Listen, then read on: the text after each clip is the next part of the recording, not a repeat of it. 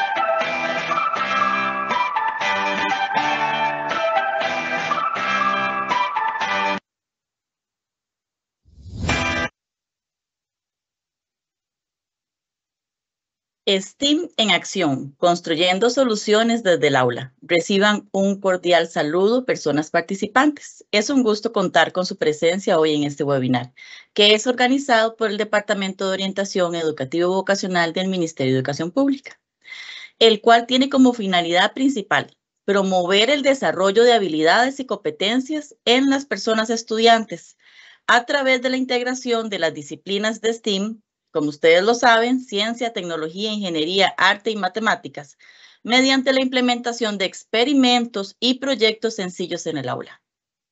Es un placer darle la más cordial bienvenida. Esperamos que sea de mucho, mucho provecho para su ejercicio profesional. Mi nombre es Melissa Alpiza Rodríguez, soy asesora nacional de orientación y les acompañaré el día de hoy en la moderación de este evento.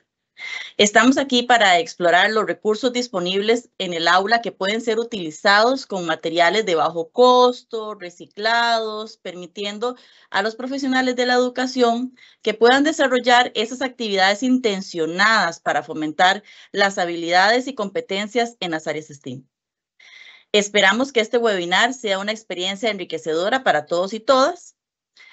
Los ejercicios prácticos que se presentarán nos ayudarán a comprender mejor estos recursos y su aplicación práctica en el ámbito educativo. Hoy tenemos el honor de contar con la presencia de dos destacadas científicas que serán nuestras expositoras. Ellas em, son del Instituto Tecnológico de Costa Rica. Nos guiarán a través de unos valiosos temas y ejercicios que ustedes eh, van a constatar que son prácticos, que nos van a ayudar en la mediación pedagógica con las personas estudiantes para fomentar esas prácticas desde el área STEAM. Por otra parte, es importante aclarar que esta actividad está siendo, eh, es totalmente en vivo. Por eso eh, agradecemos su comprensión ante cualquier eventualidad que pueda ocurrir. Existen em, dos espacios específicamente para consultas. Entonces, ustedes en el momento del desarrollo de las actividades, de escuchar el material que ellas tienen que contarnos, tienen dudas, pueden utilizar el chat que está aquí mismo en este enlace de este webinar para hacer las consultas que, ustedes, que a ustedes les surjan y posteriormente en esos dos espacios de consultas vamos a poder responderlas con las personas expositoras que tenemos en este momento el honor de tener el día de hoy. Existirán em, también la posibilidad de que ustedes tengan eh, espacio para registrar su asistencia y para registrar la evaluación en unos enlaces que compartiremos con ustedes posteriormente. Em,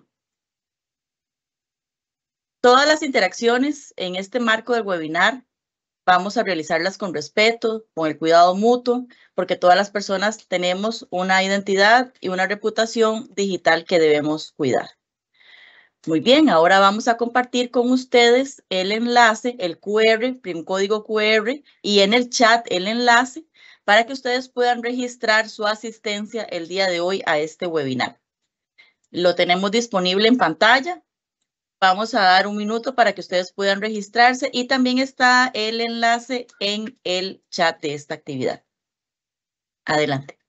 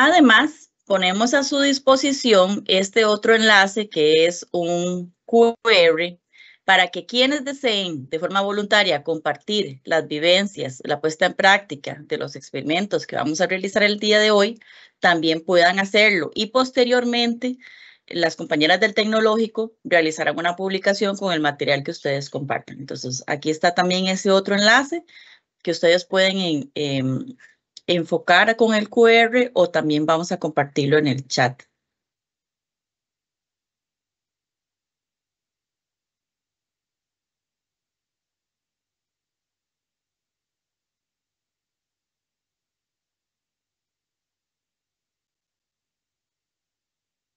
Muy bien, a lo largo de este webinar estaremos alternando el uso de la palabra entre nuestras dos distinguidas expositoras quienes compartirán un amplio conocimiento, su amplio conocimiento con nosotros en el campo de la física. Me voy a, voy a, en este momento a presentarlas. Me voy a, leer este, las calidades de estas dos profesionales que nos acompañan el día de hoy. En primer lugar, tenemos a la doctora Laura Rojas Rojas. Ella es docente e investigadora en la Escuela de Física del Instituto Tecnológico de Costa Rica. La doctora Rojas ha dedicado su carrera a la investigación.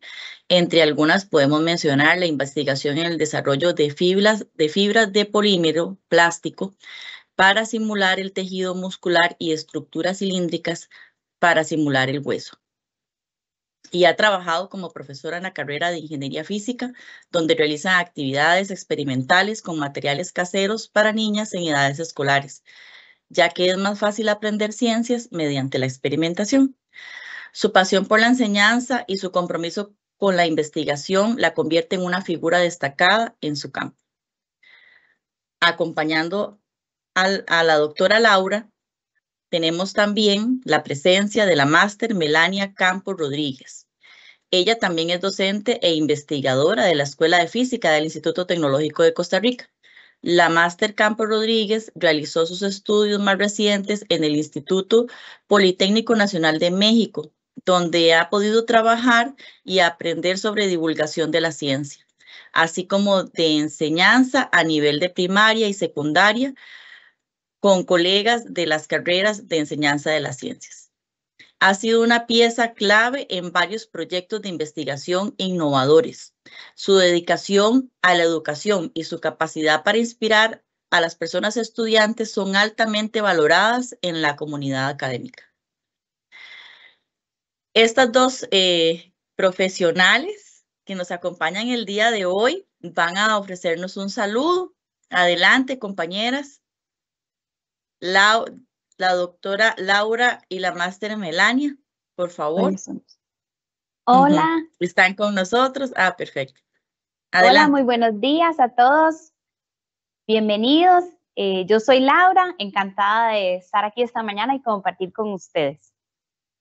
Buenos días, yo soy Melania y muchísimas gracias por acompañarnos en esta transmisión que esperamos que sea de mucho provecho y también a los compañeros y compañeras de la Comisión Nacional STEAM del MER por la invitación a nosotros a través del proyecto de Niñas Supercientíficas. Muchísimas gracias. Estamos muy emocionadas por escuchar eh, todos los experimentos que ustedes nos traen el día de hoy. Y sin más preámbulos, les voy a ceder la palabra para que podamos iniciar con la exposición. Entonces, adelante, el escenario es de ustedes. Meli, la jefa va a dar las palabras de bienvenida antes de ah, iniciar. Muchísimas gracias por, por, por, por recordármelo, por supuesto. Eh, para iniciar, eh, ahora sí, vamos a permitirnos escuchar a la jefa del Departamento de Orientación Educativa y Vocacional, doña Ileana Arce Valerio. Ella nos va a dar una calurosa bienvenida para poder iniciar con esta actividad. Adelante, doña Ileana. Bueno, muy buenos días. En realidad ha sido eh, un tiempo de espera para poder encontrarnos en este webinario. Realmente un saludo especial a la distancia a cada una de las personas que están en centros educativos y también en las direcciones regionales de educación. Agradecer de manera muy especial al Instituto Tecnológico de Costa Rica, ¿verdad? En el marco específicamente del proyecto de niñas supercientíficas. Para nosotros es un honor poder contar con ustedes en este espacio, eh, quienes en coordinación con la Comisión Nacional de Educación STEAM y con el Departamento de, de Orientación Educativa y Vocacional, comunidad ejecutora de la Estrategia Nacional de Educación STEAM, pues hemos unido esfuerzos y para nosotros es un honor eh, poder tenerles hoy acá. Em, como decía Melissa al inicio, estamos eh, trabajando en promover el desarrollo de habilidades y competencias en el estudiantado, pero hay un elemento sumamente importante que es que puedan explorar y valorar las áreas de ciencia, tecnología, ingeniería, arte y matemática, las áreas STEAM en sus proyectos vocacionales también. Así que esperamos que este espacio sea de muchísimo provecho en uno de los elementos que creemos clave, que es su mediación pedagógica y en ese cómo cómo yo puedo llevar esto a esa práctica, a esa vivencia y a esas experiencias educativas que puedan nutrir esa exploración y esa valoración a disfrutar muchísimo del webinario y muchas gracias por su atención y presencia. Doña Iliana, muchísimas gracias. La verdad que su trabajo es indispensable para que esta estrategia de educación STEAM pueda ejecutarse para estar el día de hoy aquí en este webinar. Muchísimas gracias por esa cálida bienvenida. Muy bien, ahora sí, vamos a, iniciar con la doctora Laura y la máster Melania. Adelante, compañeras. Bueno, iniciamos con ese primer bloque. Damos inicio con ese primer bloque de esta mañana.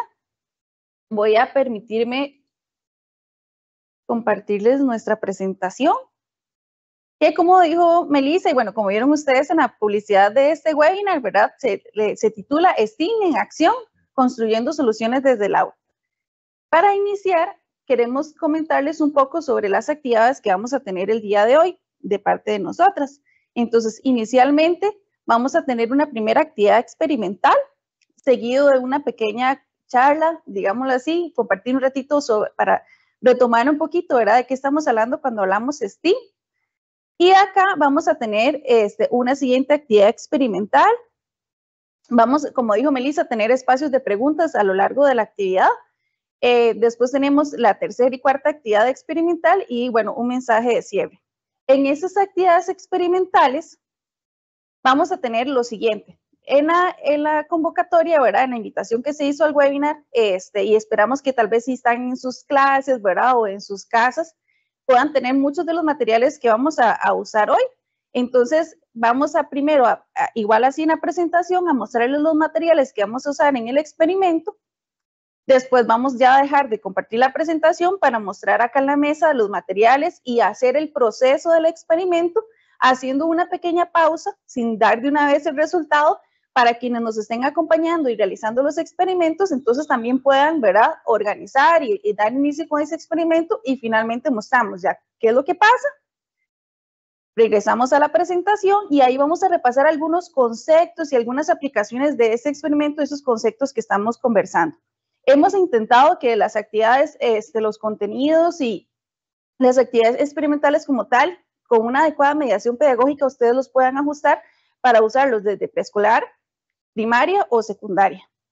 Y este, también es importante eh, que en esa explicación e información, ¿verdad? Va a ser algo breve, pero más bien son palabras claves para que ustedes puedan indagar más acerca del tema.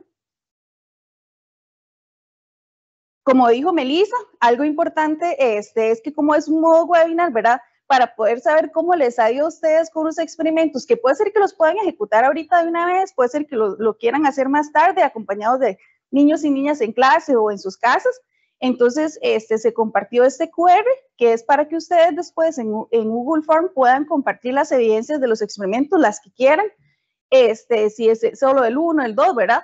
Y la idea de eso es después hacer una publicación en las redes sociales del proyecto Niñas Supercientíficas, porque es muy importante, digamos, ver la participación de ustedes y esta colaboración que se está realizando el día de hoy. Entonces, bueno, Va a ser un ratito este, que tal vez se nos haga un poco corto, pero vamos a dar inicio con el primer experimento que va a estar a cargo de mi compañera Laura. Muchas gracias, Melania. Em, solo para agregar a lo que Melania decía de las evidencias, nos los quisiéramos motivar incluso a llevar esto a la clase, ¿verdad? Y hacerlo con sus estudiantes. Nos encantaría ver las fotos de las niñas, niños haciéndolo, ¿verdad? Lo que vamos a aprender hoy. Em, entonces, bueno, sin más, empecemos con el primer experimento que hemos llamado frío o caliente. Entonces, les voy a mostrar primero los materiales, ¿verdad? Por si están en casa o en un aula que, los puedan eh, agrupar y ojalá participar con nosotras en este momento. Vamos a utilizar dos bolsas, pueden ser de tipo sándwich o esas que tienen cierre o de las otras más grandes de alimentos. Dos bolsas este, Incluso no tienen que ser transparentes, pueden ser dos bolsas cualesquiera. Después necesitamos algún tipo de manteca o mantequilla.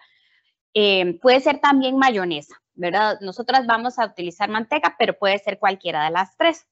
Un recipiente, el recipiente tipo tazón, el tamaño del recipiente tiene que ser tal que, a uno, que uno pueda colocar su mano dentro del recipiente, unos trocitos de hielo, y adicionalmente vamos a usar una cuchara de plástico o madera, ¿verdad? La que tengan en casa, puede ser la de mezclar este, las ollas grandes de madera y una de metal. La cosa es que necesitamos dos diferentes cucharas.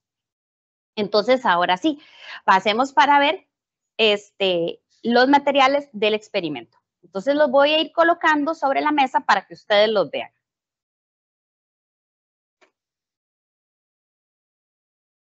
Muy bien, entonces, les comentábamos, necesitamos las bolsas.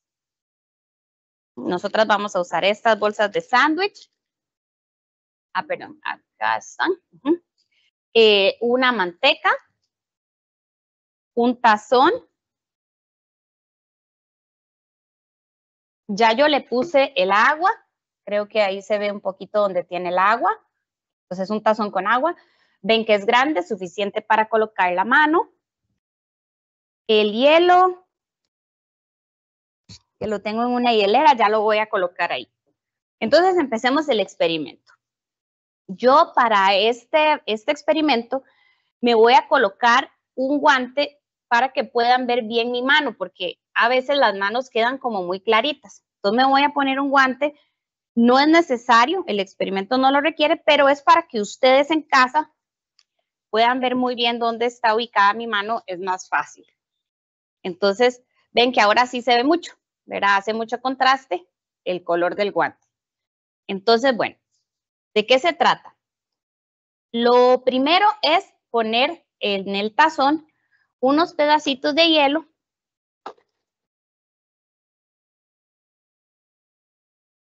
con el agua. Entonces, aquí los van viendo. Vamos a ver, ya se los voy a mostrar con cuidado. Aquí está el hielo, ¿lo ven? Entonces lo coloco en el agua, mezclamos el agua.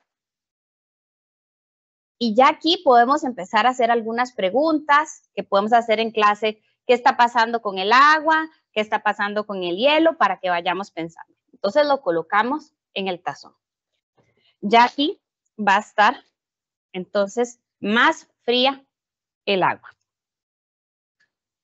Entonces, siguiente paso. ¿Qué hacemos? Colocamos una de las bolsas, voy a correr el tazón un segundo para que puedan observar. Entonces, nos colocamos la bolsa en la mano. Entonces la colocamos aquí. Esta es una bolsa de alimentos, entonces es, eh, perdón, de sándwich, entonces es pequeñita, pero aquí se ve dónde está. Esta bolsa lo que nos sirve es para no ensuciarnos mucho las manos. ¿Por qué? El siguiente paso es agarrar la manteca, la mantequilla o la mayonesa y ponerla sobre la bolsa. Entonces ven aquí la manteca sobre mi mano. Entonces yo uso esa bolsa pequeña que está ahí eh, para protegerme la mano, ¿verdad? No embarrarme mucho. ¿Y qué tenemos que hacer? esparcir la manteca por toda la bolsa. Entonces, em, por ejemplo, cuando nosotros hacemos esto con, con, las chicas y chicos en la escuela, empiezan, ay, guácala, la manteca, se siente, ¿verdad? este, y tomamos otra bolsa, aquí la Tomamos otra bolsa, la ven acá, con la, en mi mano, en mi otra mano, la que no tiene guante, y la colocamos sobre esta para tapar la manteca o la mantequilla o la mayonesa. Entonces ahora la manteca quedó atrapada ahí y ya la puedo tocar. Antes también, pero es que si no se, no se queda muy embarrada en las manos. No es necesario esparcirla por toda la bolsa, ¿verdad? Nada más que quede distribuida. Y si pueden observar, me está cubriendo, si pueden observar bien en la pantalla, los deditos de la mano, ¿cierto? O sea, están como tapaditos aquí por la manteca. Cuando estamos este, con las bolsas y la manteca listas, ya tenemos, ¿verdad? La parte lista del experimento. Voy a traer nuevamente el tazón, ¿verdad? Que ya habíamos dicho. Entonces, ¿cómo podemos desarrollar, cómo podemos desarrollar este experimento? Yo le digo a los chicos, coloquen la mano que no tiene eh, eh, nada, que no tiene las bolsas. Y si ustedes nos están acompañando en casa con el desarrollo del experimento, entonces también los invito a hacerlo. Entonces, si nosotros colocamos la mano, podemos empezar a contar en el tiempo y rápido vamos a empezar a sentir pues el frío, ¿verdad? Y vamos a querer sacar la mano del, del agua con hielo. Podemos contar, por ejemplo, entonces yo pongo a los chicos y chicas y les digo uno, dos, a ver quién pero ¿quién puede tener el agua, eh, perdón, quién puede tener la mano en el agua por más tiempo? La mano que no tiene nada, que era esta. Seguidamente, ¿verdad? Es importante hacer las dos partes para, eh, ¿cómo se llama? Aprovechar el esfuerzo bien. Entonces, seguidamente vamos a colocar la mano que tiene la manteca este, entre las bolsas, ¿verdad? Vamos a colocarla y vamos a contar, la voy a sostener así para que no se me caiga, y vamos a contar el tiempo. Entonces yo la coloco y si están haciendo este experimento conmigo, eh, van a ver que ustedes pueden tener mano en el agua fría muchísimo más tiempo de lo que podrían tener la otra mano. De hecho, aquí yo la estoy sosteniendo, estoy tranquila, podemos contar hasta 10, podemos contar hasta 20. Incluso, si desean, pueden poner las dos manos y ver si de verdad pueden dejar la mano que no tiene este, las bolsas dentro del agua fría. La otra está tranquila. Y para que también ustedes observen que, digamos, el guante no tiene ningún efecto, me voy a cambiar la bolsa de mano para que vean que también, o sea, funciona sin la necesidad del guante. Yo la puedo colocar aquí y aquí está sumergida en el agua fría y sin ningún, o sea, no hay ningún problema con ello. Ven, me había puesto el guante porque la, como la manteca es blanca, las manos mías son claritas, entonces, bueno, pues no se, no se observa tanto. Entonces, espero que lo hayan eh, podido eh, compartir conmigo la prueba. Entonces, recuerden la bolsa con la, las dos bolsitas, con la manteca, mayonesa, el agua con hielo. Entonces, muy bien. Vamos a hacer otra cosa aprovechando que ya tenemos aquí el tazón con el agua fría, ¿verdad? Porque aquí tenemos otra vez el hielo, tenemos el agua fría. Para eso vamos a usar las cucharas. Ya me voy a quitar los guantes y entonces tengo, ¿verdad? Ya las manos sin nada.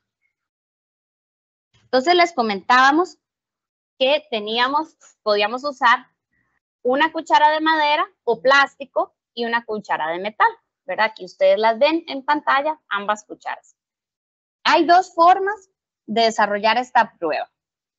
Una es, primero voy a hacerla así. Colocamos las cucharas dentro del agua. Solo que aquí creo que se me van a resbalar. Bueno, no importa, yo las agarro ahora. Están ahí en el agua. podemos, mientras hacemos esto, también pensar en otros conceptos. Por ejemplo, ambas cucharas están en la misma agua. Entonces, para que ustedes vayan pensando en conceptos, podemos, les puedo hacer la pregunta y tal vez la pueden ir contestando ahí en el chat. ¿Están a la misma temperatura las cucharas? ¿Sí o no?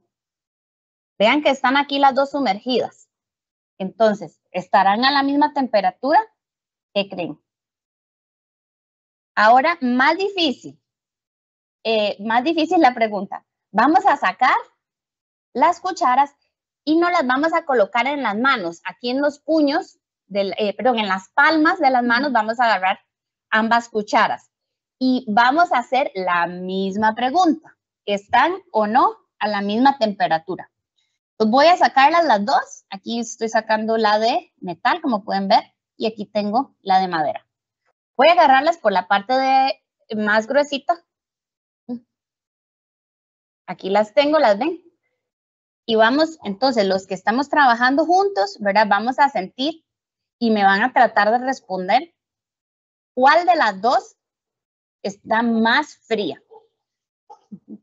Entonces, ojalá alguno lo esté, um, ¿cómo se llama? Trabajando al mismo tiempo y que me pudiera decir.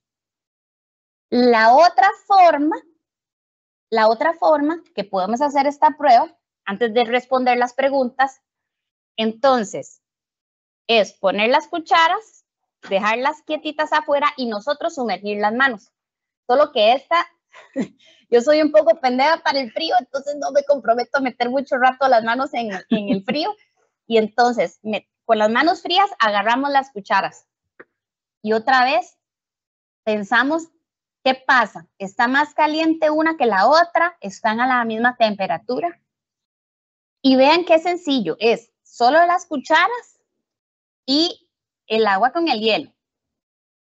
Estoy viendo en el chat, ¿verdad? Que sí hay gente que lo está participando con nosotras y me encanta leerse sus respuestas y ya vamos a ver este, qué es lo que está ocurriendo.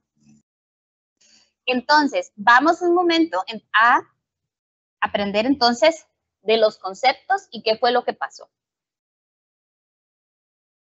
Pues vamos a regresar a la presentación.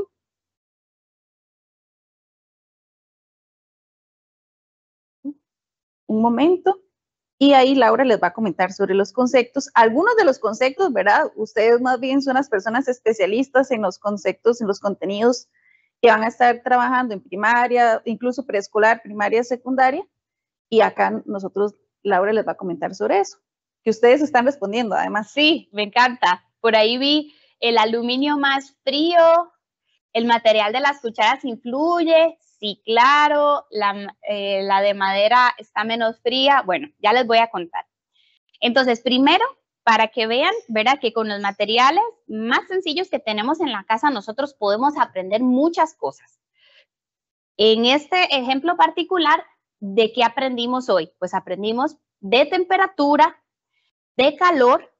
Un, concepto muy importante más en estos eh, tiempos es la transferencia de calor. Y muy bien que ya alguien comentó en el chat de tipo de materiales. Entonces, podemos conversar de cómo se transfiere el calor, qué pasa con la temperatura, cómo se influyen los materiales. Pero bueno, más importante, la explicación del experimento. Vamos a ver, cuando hicieron el experimento de la, de la manteca, realmente, pues les voy a, a decir lo que ocurre, ¿verdad? Para tal vez las personas que no lo hayan hecho conmigo. Cuando uno coloca la mano dentro de la bolsa de manteca y la sumerge en, la, este, en el tazón con el hielo, la, la verdad es que se siente menos frío. Uno puede colocar la mano en el tazón y no tiene tanto frío como si coloca la mano que no tiene el tazón. ¿Y esto por qué? ¿Por qué es así? Bueno, resulta que hay materiales que, por decirles, em, son aislantes de la temperatura o son conductores de la temperatura.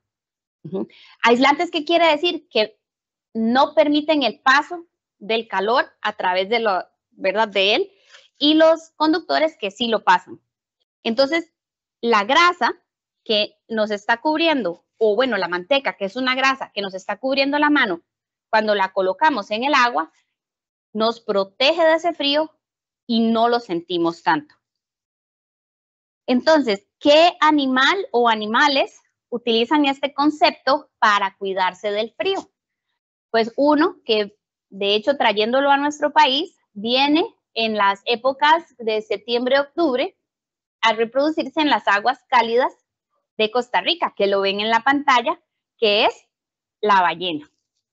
Las ballenas tienen una capa de grasa gruesísima a lo largo de toda su piel para poder estar sumergidas todo el tiempo y sobre todo en las aguas heladas del Ártico, que son precisamente como este tazón con el hielo, es agua helada, helada. Y, los, y las ballenas son mamíferos como nosotros. Es decir, si están en el agua y se meten en el agua, ellas podrían empezar a sentir frío. Entonces, ¿cómo se protegen? Con la capa de grasa que está a lo largo de toda su piel, ya que les funciona como un aislante y no se este, enfrían o no pierden su calor. Adicionalmente, para explicarles ahora, el de este, el, el experimento de las cucharas. La primera pregunta que les hice fue, ¿están las cucharas a la misma temperatura cuando las coloqué en el agua? La respuesta es sí, están a la misma temperatura. ¿Cómo sabemos eso? Toda esta agua está a la misma temperatura. ¿Y cuál es esa? Cero grados centígrados. Cuando hay agua con hielo, está a cero grados Celsius. Entonces lo ponemos en el, en el agua, ellas están a la misma temperatura. Entonces ahí les hice un, un poquillo de trampa, pero sí están a la misma temperatura. Pero ahora, ¿qué pasa cuando las agarramos con la mano? Yo vi en el chat muchas respuestas que decían, una está más caliente, una está más fría. Entonces ahí es importante entender el concepto.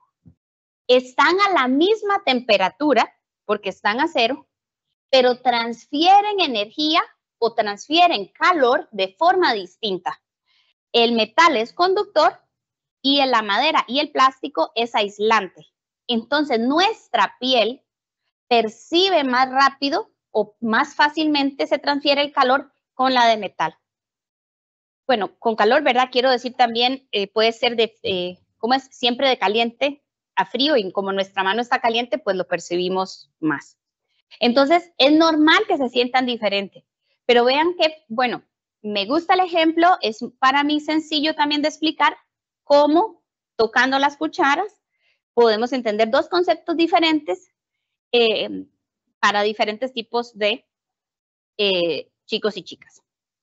Vamos a pasar en la presentación a la siguiente diapositiva, porque entonces ya aprendimos los conceptos, pero ahora, ¿cómo llevamos estos conceptos a nuestra vida cotidiana, a la sociedad? Entonces, primera pregunta también. ¿Qué materiales usamos para cocinar en la casa? No utilizamos, no utilizamos ollas de madera, utilizamos ollas de metal. ¿Por qué? Ahora ya nosotros podemos entender, claro, porque el metal es un conductor de la temperatura y si nosotros necesitamos calentar agua, por supuesto que va a ser más fácil calentarla en una olla de metal que en una olla de madera. Entonces, también podemos saber qué hacer, ¿verdad? Este, para cocinar más rápido o más lento. La otra cosa que podríamos eh, considerar, por ejemplo, es que, eh, qué tenemos que hacer nosotros para cubrirnos del frío. ¿verdad? Tenemos que cubrirnos con una jacket muy liviana o con una jacket muy gruesa. Pues por supuesto que la jacket más gruesa o el abrigo más grueso nos va a resguardar más nuestro calor que una más delgada. Entonces podemos ver cómo la parte de materiales, la parte de temperatura, la parte de calor en realidad está por todos lados. Y todavía yendo un poco más allá, porque me parece muy importante que conozcamos esto en, el contexto, en nuestro contexto nacional, Costa Rica dichosamente es un país que tiene de todo, desde montañas hasta playas.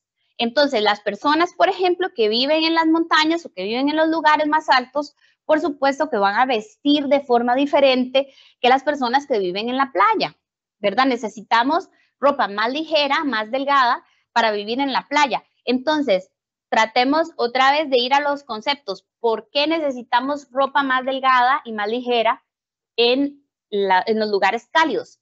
Porque nosotros necesitamos que el calor fluya, ¿verdad? Para estar más frescos.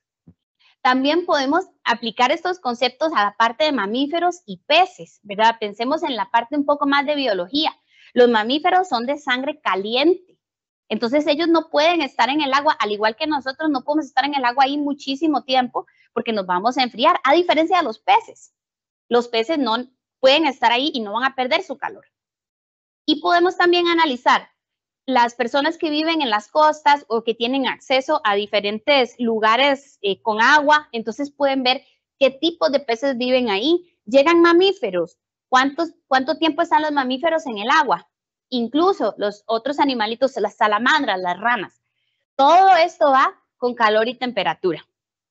Y luego, muy importante en este contexto del 2024, es la parte de cambio climático todos hemos sentido el cambio climático y en todos los lugares, ¿verdad? Que uno va, tiene mucho calor.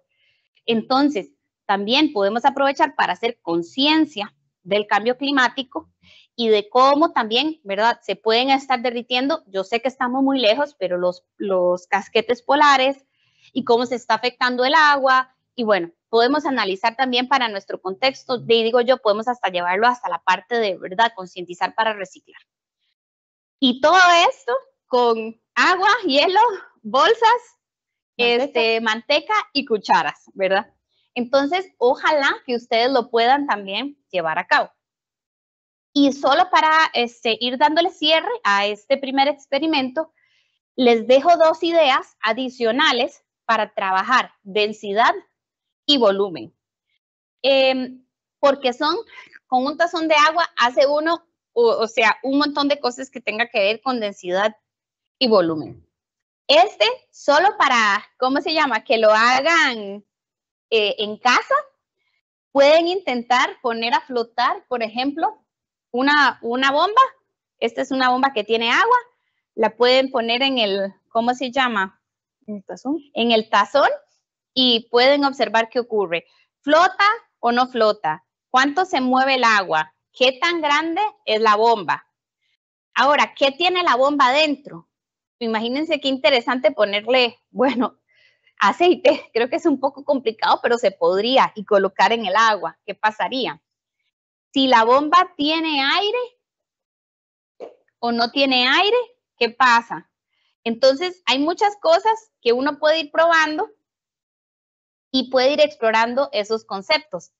Uno súper interesante que me encanta pero es, eh, digamos, hay que hacerlo con cuidado, es colocarle agua caliente, agua caliente a la bomba y colocarla en el tazón a ver qué pasa. De hecho, que creo que ahí ya en la cámara van a ver que está una bombita como aquí flotando y la otra está ahí en el fondo. Entonces, háganlo y ojalá siempre preguntarse, ¿qué está pasando? ¿Cómo lo haría diferente? Este, ¿Por qué una flota y la otra no? Si una es más grande, si una es más pequeña. Entonces les dejo las inquietudes. Este no, ¿verdad? No lo vamos a desarrollar ahora, pero ojalá que lo hagan y veamos sus preguntas y sus imágenes. Lau, incluso cuando usted puso las cucharas, ¿verdad? Tenemos eh, la cuchara de metal, tenemos la cuchara de madera y se vio, digamos, la diferencia al momento de la flotación de los dos. La de metal, como es un metal mucho más denso que el agua, entonces se va a hundir, mientras que la que es de madera va a flotar. Entonces, incluso con los mismos materiales que ya teníamos, digamos, también se puede explorar este, estos conceptos. Algo importante este, que me gustaría mencionar también es que, como, nos, les decía al inicio, la idea de estas actividades es que dependiendo de los conceptos, ¿verdad? Puedan trabajar con conceptos algo más sencillos, esto en primaria, preescolar, o llevarlos a secundaria. Pero, por ejemplo, tal vez alguien diga, ay, pero para mí es muy difícil conseguir esta cuchara, digamos, que es de madera en mi comunidad no se consiguen. Nosotros lo usamos porque también hay veces es como el hecho de que sean de la misma forma, digamos que es una barrera menos o, un algo más explícito de que son iguales, digamos, en forma, entonces la comparación nada más tiene que ver con el material. Si hubiésemos usado una barrita de madera, digamos, de una rama de un árbol o un pincho o una paleta, como las de lado, digamos, como esto nada más, sin la forma de la cuchara, la gente cree que tiene que ver con la forma. Entonces, eso es como para quitar esa, ¿verdad? esa variable, pero igual funciona con otro, ¿verdad? Si no tenemos dos cucharas, podrían ser nada más dos, este, dos pedacitos, una varilla de, ¿verdad? metal y otra de, madera para hacer la comparación. La idea de nosotros siempre es que, que no sea como de tanto de comprar cosas. La idea también con eso es que se pueden reutilizar, ¿verdad? Pero este, para que también lo tomen en cuenta, porque es que usamos esos materiales y si no pueden conseguir eso tal cual, hay otras opciones. Gracias, Nela. Entonces, creo que a continuación eh, vamos, espero que hayan disfrutado, ¿verdad? Bastante este experimento y experiencia y vamos a pasar a otra partecita de, de STEAM. Voy recogiendo. como les decía al inicio, este, vamos, bueno, esa era nuestra primera actividad experimental, ¿verdad? Ahí como para ir calentando en esta mañana de experimentos pero vamos también a, ubicarnos todos tal vez en una misma línea, un mismo contexto de qué es STEAM, ¿verdad? Ustedes la mayoría ya son súper especialistas en esto porque ya en sus instituciones tienen incluso años de estar trabajándolo, otros han venido incorporándose a la estrategia un poquito más recientemente. Entonces, para estar todos en sintonía, digamos, con lo que estamos este, conversando el día de hoy. Entonces, lo primero es que cuando hablamos de la palabra STEAM, tenemos la S de ciencia, la T de tecnología, la E de ingeniería, la A de arte y la M de matemática. Ven que cuando yo lo digo en español como que no coinciden, bueno, porque parte de esto es porque esas siglas vienen de esas mismas palabras, pero en inglés. ¿Y por qué en inglés? Bueno, es que es parte del contexto de cuando surge, digamos, todo esto de la educación STEAM y se ubica en los 90 en Estados Unidos. ¿Por qué? Porque en ese año, en, es, bueno, en esa época, en Estados Unidos empiezan a tener un faltante de personas profesionales en las áreas de ciencia, tecnología, ingeniería, ¿verdad? Y entonces, ¿qué es lo que pasa? No, hay, no había gente e, graduándose en esas áreas, había espacios a nivel de trabajo, pero no habían personas este, estudiando esto. Entonces, de ahí fue que igual se hace investigación educativa y demás, y se decide que incluso empezar a convencer, empezar a mostrarle, digamos, toda la oportunidad, todo lo increíble que son estas áreas, ¿verdad? Lo presentes que están en nuestro día a día. Entonces, este, ahí es donde empieza a hablarse la educación STEAM a nivel de primaria, de secundaria. De diferentes, este, trabajando desde edades tempranas. Y este, algo de lo que ellos ubicaron sí fue que había un desagrado por estas áreas no es que no había suficiente gente, sino es que desde esas edades tempranas ya sienten los niños y niñas que no quieren este, nada ¿verdad? con las áreas STEAM, entonces tenían que trabajarlo. Y ya muy modo personal, tal vez este, uno habla o se ubica en la historia, digamos, del contexto de STEAM en Estados Unidos, pero posiblemente era una, un faltante, una necesidad que teníamos a nivel mundial, posiblemente en Costa Rica también, pero bueno, sabemos que Estados Unidos es una potencia económica, entonces, habían recursos, ¿verdad?, para empezar a, investigar y, ver qué estrategias aplicar y por eso se le ubica también en Estados Unidos. Inicialmente no tenía la A, sea, solamente era STEM, sin la letra de arte. Pero ¿qué es lo que pasa cuando hablamos de ingeniería, tecnología, de ciencia, verdad? Este, incluso la misma matemática ha ido evolucionando para, eh, según lo que se requiere en la sociedad. Entonces, el hecho de crear, de buscar soluciones nuevas, ¿verdad? De estos retos nuevos que presenta la sociedad, se ocupaba la innovación, la creación. Y entonces ahí fue donde consideraron que el arte, digamos, iba a ser un elemento fundamental a trabajar en conjunto, ¿verdad? Con todas estas áreas. Entonces de ahí es que llegamos a STEAM, que es lo que nosotros trabajamos, ¿verdad? Ustedes trabajan a nivel del MEP a través de las estrategias STEAM. Ahora sí, ¿en qué aporta, digamos, el trabajo en STEAM? Bueno, ¿en qué aporta esto? Bueno, primero es el mayor interés por estas áreas.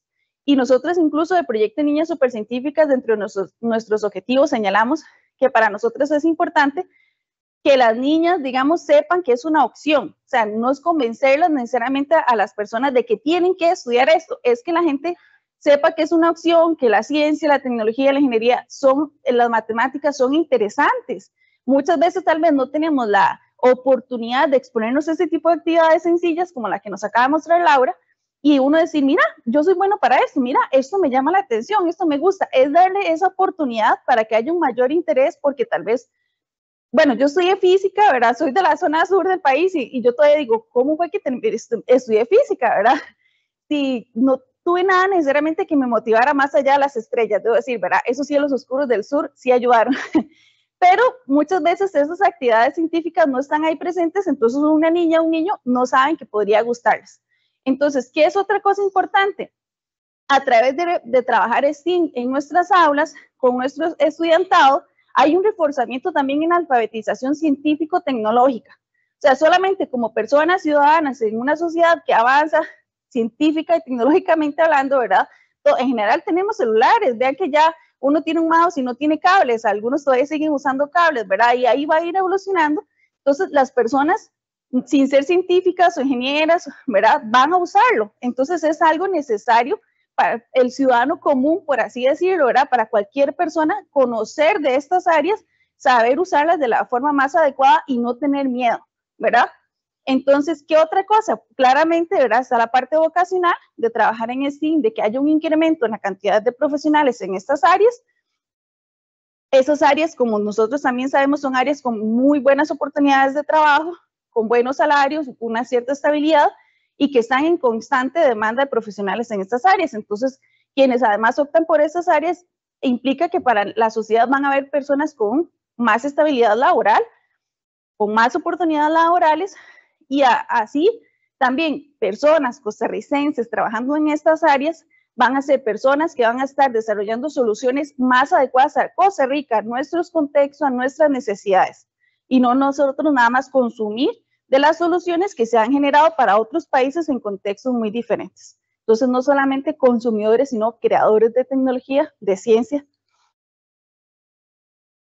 Para nosotras, ¿verdad? Estamos acá por el proyecto de Niñas Supercientíficas y bueno, nosotras igual, Laura y yo como científicas mujeres, es muy importante, ¿verdad? Y así está en la estrategia STEAM, en una de las líneas de trabajo de la estrategia STEAM del MEP, que es no hay que olvidarnos de las niñas y las, estudiantes mujeres, de las chicas. ¿Por qué?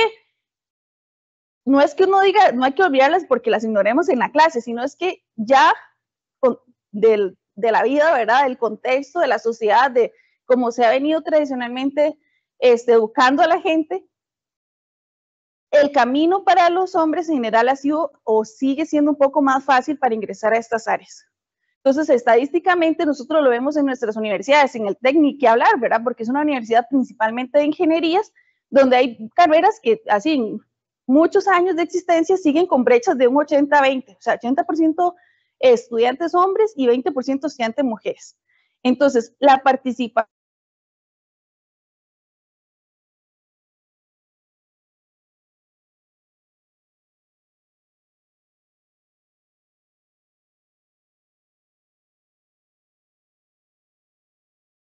Se fue el audio. Hola, compañeras. Melania, Laura. Es que en este momento las podemos observar, pero no las podemos escuchar.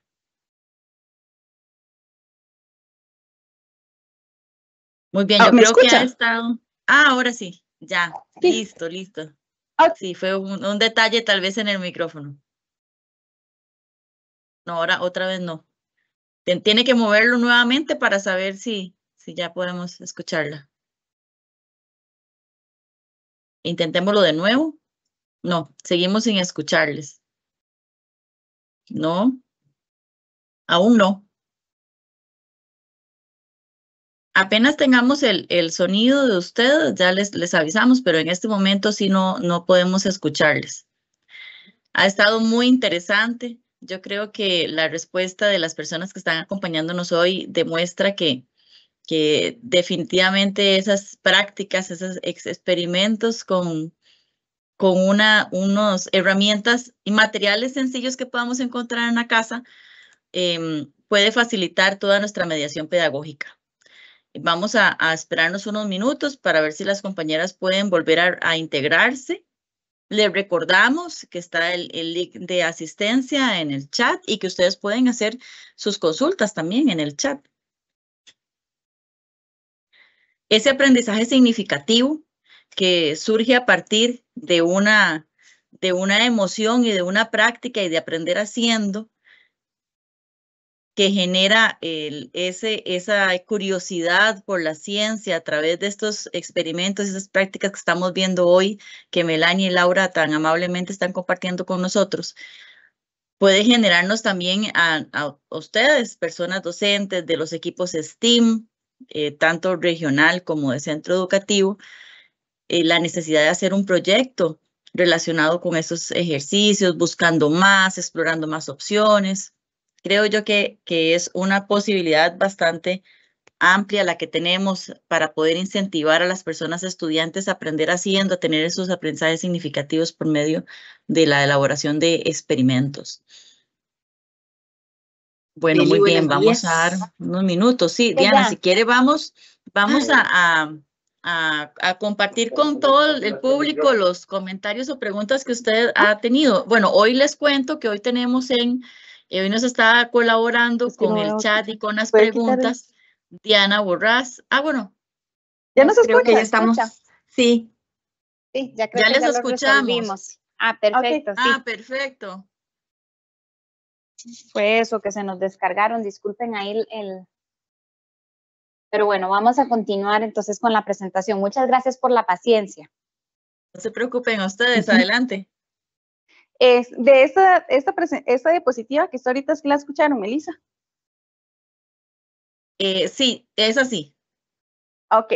Bueno, entonces, como les estaba conversando, es para nosotras, digamos, un pequeño mensaje sobre la inclusión, como cuidar ciertos detallitos al momento de estar en clase, es muy importante, digamos, cuando trabajamos con las, las niñas y las estudiantes ya adolescentes en secundaria o, bueno, incluso en, en la educación de jóvenes y adultos, ¿verdad? Las mujeres que ya son adultas y que están en, en estos centros, en estos sistemas, este, también saber que ellas están ahí estudiando y que también ellas pueden jugar, ¿verdad? Hacer los experimentos y, darse cuenta, ¿verdad? Todos, eh, ya igual a esas, a esas edades que tal vez les guste y que pueden desarrollarse o formarse en estas áreas. Algunas acciones afirmativas, entonces, para motivar a las mujeres, ¿verdad? Desde primaria infancia hasta la educación de jóvenes y adultos, es la participación activa, como les decía, en las, en las experiencias STEAM, ¿verdad? Vamos rotando para que todos y todas este, hagan las pruebas. Muchas veces tal vez tenemos un laboratorio de computación, o sea, una clase de, de informática en las instituciones que las tenemos. Entonces, fijarnos que si un día eh, hay niños en la computadora usando, ¿verdad? Eh, manipulando, que en la siguiente semana fijarnos de que las chicas también lo hagan. También dar a conocer, presentar modelos de líderes costarricenses, latinoamericanas, incluso ¿verdad? de otros países del mundo, porque esos modelos son muy importantes para darse cuenta de que, que sí se puede, ¿verdad? Tal vez en la historia hemos conocido más de científicos, pensamos en ciencia y pensamos en un viejillo canoso de pelo desgreñado, ¿verdad? En Einstein, de una vez, el científico con, la gabacha y con algunas unas, este, particularidades, pero no tal vez ubicamos a una científica. Ya conforme ha seguido trabajando con esto, tal vez ya piensan más en Marie Curie, ¿verdad? o alguna otra científica o ingeniera o matemática, pero este, eso es parte de acciones que podemos realizar, además de identificar acciones de ciencia e ingeniería en las labores cotidianas, porque es que en realidad nosotros en el día a día, desde pequeñitos, ¿verdad? Las personas en casa, padres, madres o encargados, hacen ciencia e ingeniería.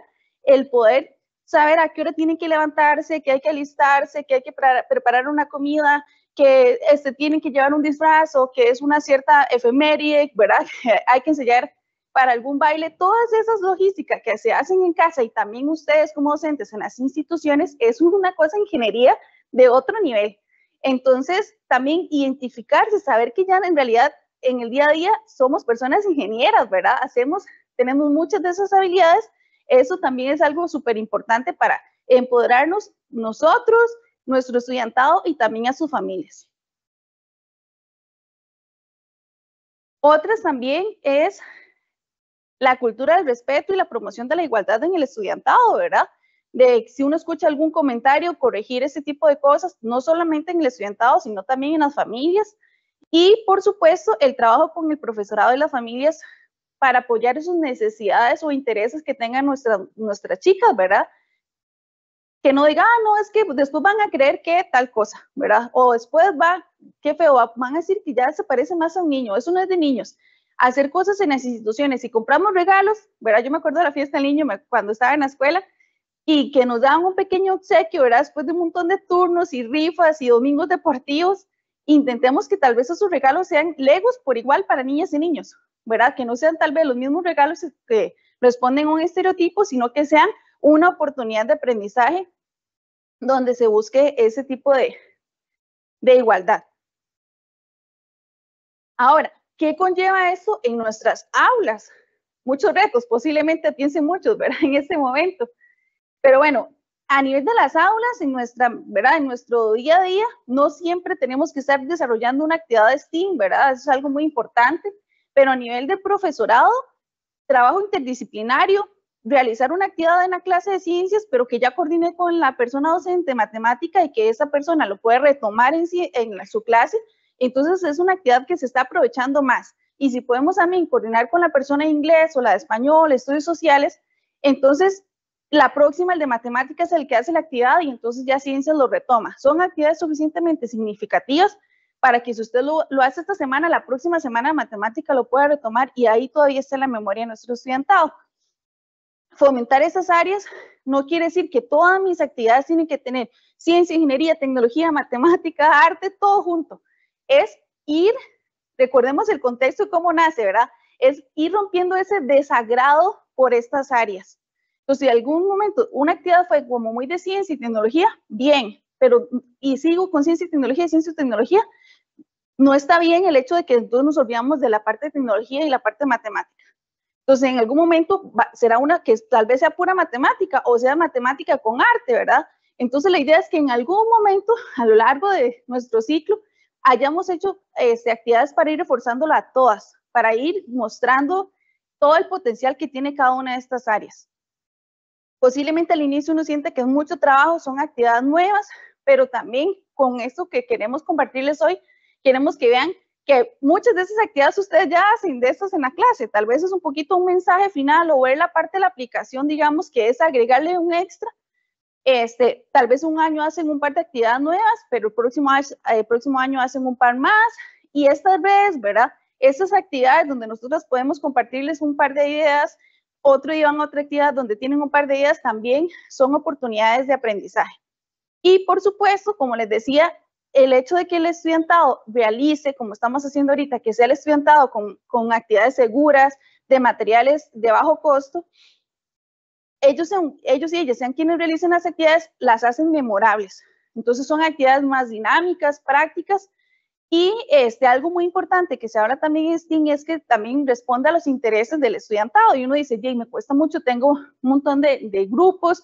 Uno va conociendo a sus estudiantes, pero también que la actividad misma se preste para que el estudiantado ponga ahí su sello personal, sus intereses, sin que sea yo el que tenga que hacerle necesariamente una actividad específica para que Laura se sienta motivada y otra para que Melissa se sienta motivada, sino algo que sea suficientemente abierto para que ellos tengan como su sello personal. Y entonces eso hace que también sea mucho más relevante y más memorable para ellos y ellas y podamos seguirlo utilizando en otros momentos de, del curso. Y con esto, vean, era una charla chiquitita, ahí hay mucha información que podría este, compartirles, pero es un poco, digamos, también para repasar un poquito la teoría del contexto de STEAM, algunos consejitos por ahí, muy humildemente, y regresamos a la acción. Y entonces vamos a nuestro experimento número dos.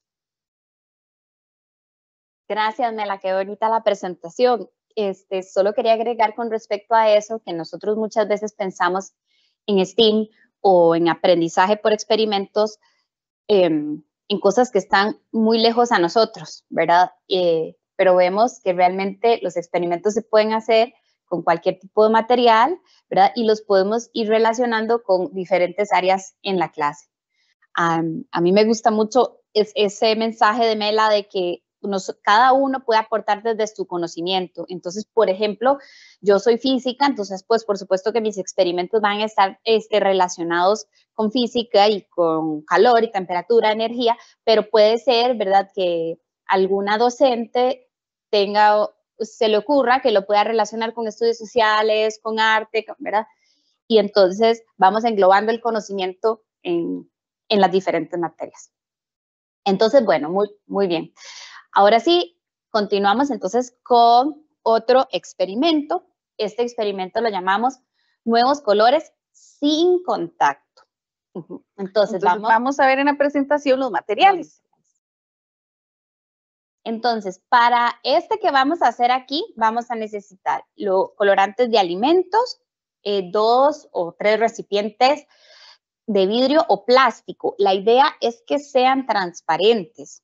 Em, es más fácil observar, ¿verdad? Los resultados si fueran transparentes eh, y pues agua, ¿verdad? Que vamos a ocupar en este aspecto. Un momento, el, el compañero Abraham, si nos puede poner la presentación un momento, creo que están viendo todavía. No se la están viendo. Sí, ah, ok. Entonces vamos a ahora a mostrarles los materiales. Pasamos a la cámara de la mesa. Entonces, bien, como les mencionaba, necesitamos eh, colorante de alimentos, pues nosotros trajimos tres colores, azul, rojo y amarillo, y eh, unos recipientes transparentes. Yo tengo estos que son cilíndricos, ¿verdad? Transparentes cilíndricos, que son los que voy a usar. Ahora, para los experimentos, a mí siempre me gusta tener como un contraejemplo. Me parece interesante que ustedes en casa o, en el aula agarren dos pilos de, cualquier, de cualquiera dos colores, digamos, ojalá uno rojo y uno amarillo, y, pintan sobre una hoja, ¿verdad? Van a ver que eh, el, color que se forma, cuál es. Y luego si agarran azul, amarillo y rojo y los mezclan en un papel, ¿qué color se forma? ¿verdad? Eso siempre es interesante y es importante como por decirles el contraejemplo. Hoy lo vamos a realizar entonces sin contacto, sin contacto. Entonces tenemos este recipiente y tenemos este otro, ya se los voy a mostrar. Es uno más grande que otro. Aquí está, ya yo le puse el agua, ahí lo pueden observar. Le puse el agua para facilidad. Y este otro no tiene el agua, este está vacío. Le voy a poner el agua a ese, es agua sencilla de tubo, pero para elaborar más las ideas y encadenarlas con lo que hicimos antes, me gustaría que prueben hacer este mismo eh, experimento colocando agua fría y colocando el colorante, a ver qué, qué ocurre.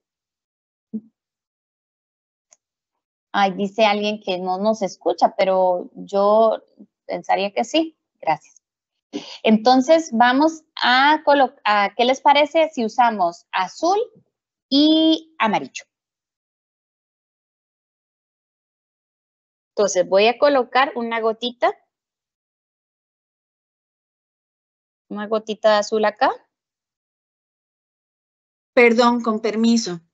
Meli, Abraham, eh, tenemos ya varios comentarios de personas que nos indican problemas con el audio.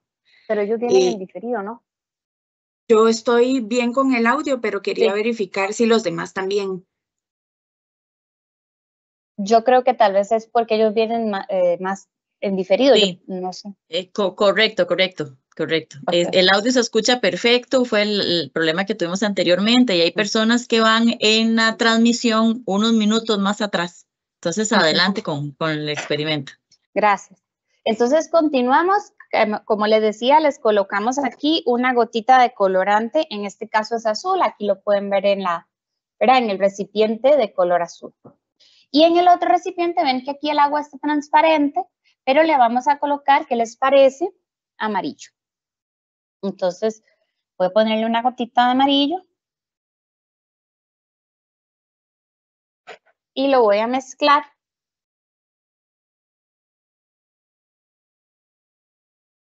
Entonces aquí tienen ambos colores. A veces nos gusta utilizar, por ejemplo, una hoja por atrás, digamos, en caso que no lo puedan ver bien, ¿verdad? Ahí se ven los dos colores, el amarillo lo ven con el, con el blanco atrás y el azul con el blanco atrás. Entonces, ahí tenemos los dos colores. A mí es que me gusta mucho trabajar con colores. Muy bien. Entonces vamos a probar. Dijimos que si nosotros tomamos dos, dos marcadores y rayamos en una hoja, entonces la hoja se nos torna de cierto color. Pero ahora nosotros vamos a hacer un, un nuevo color, vamos a, a poder observar un nuevo color, pero sin mezclar estos dos líquidos, sin mezclarlos. Entonces, para hacer eso, por eso necesitamos que uno sea más grande que el otro, para que, este, por, para colocar un recipiente dentro de otro. Entonces, si vamos a, si Lau, para los que están reproduciendo el experimento, pueden ponerlo ahí en el chat o los que no lo están reproduciendo. Cuando junten esos dos colores, ¿cuál color creen que se va a formar? Ah, bueno, sí, también importante. Este, La parte de las hipótesis, digamos, es súper importante para ver qué cosas dicen los estudiantes y las estudiantes y después ya ejecutar. Entonces vamos a ver por si alguien nos está haciendo en casa que tengan como ese chance. muy bien. Entonces, ahora sí, vamos a ver si alguien, ¿verdad? Piensa o se le ocurre algún, algún color que se va a formar sin contacto. Entonces, bien, aquí lo tenemos en cámara, eh, recipiente con color azul, recipiente con color amarillo, no los vamos a mezclar unos y uno y otro. Entonces, vamos a ver, observen bien en la cámara, aquí los llevo los dos, ahí se ve el amarillo y se ve el azul. Voy a poner esto aquí atrás, este blanco, para que les quede un poquito ahí de, de contraste y este lo voy a colocar adentro y vamos a ver qué es lo que ocurre.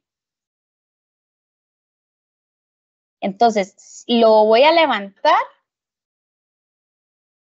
Un momento para que no se me haga ningún reguero.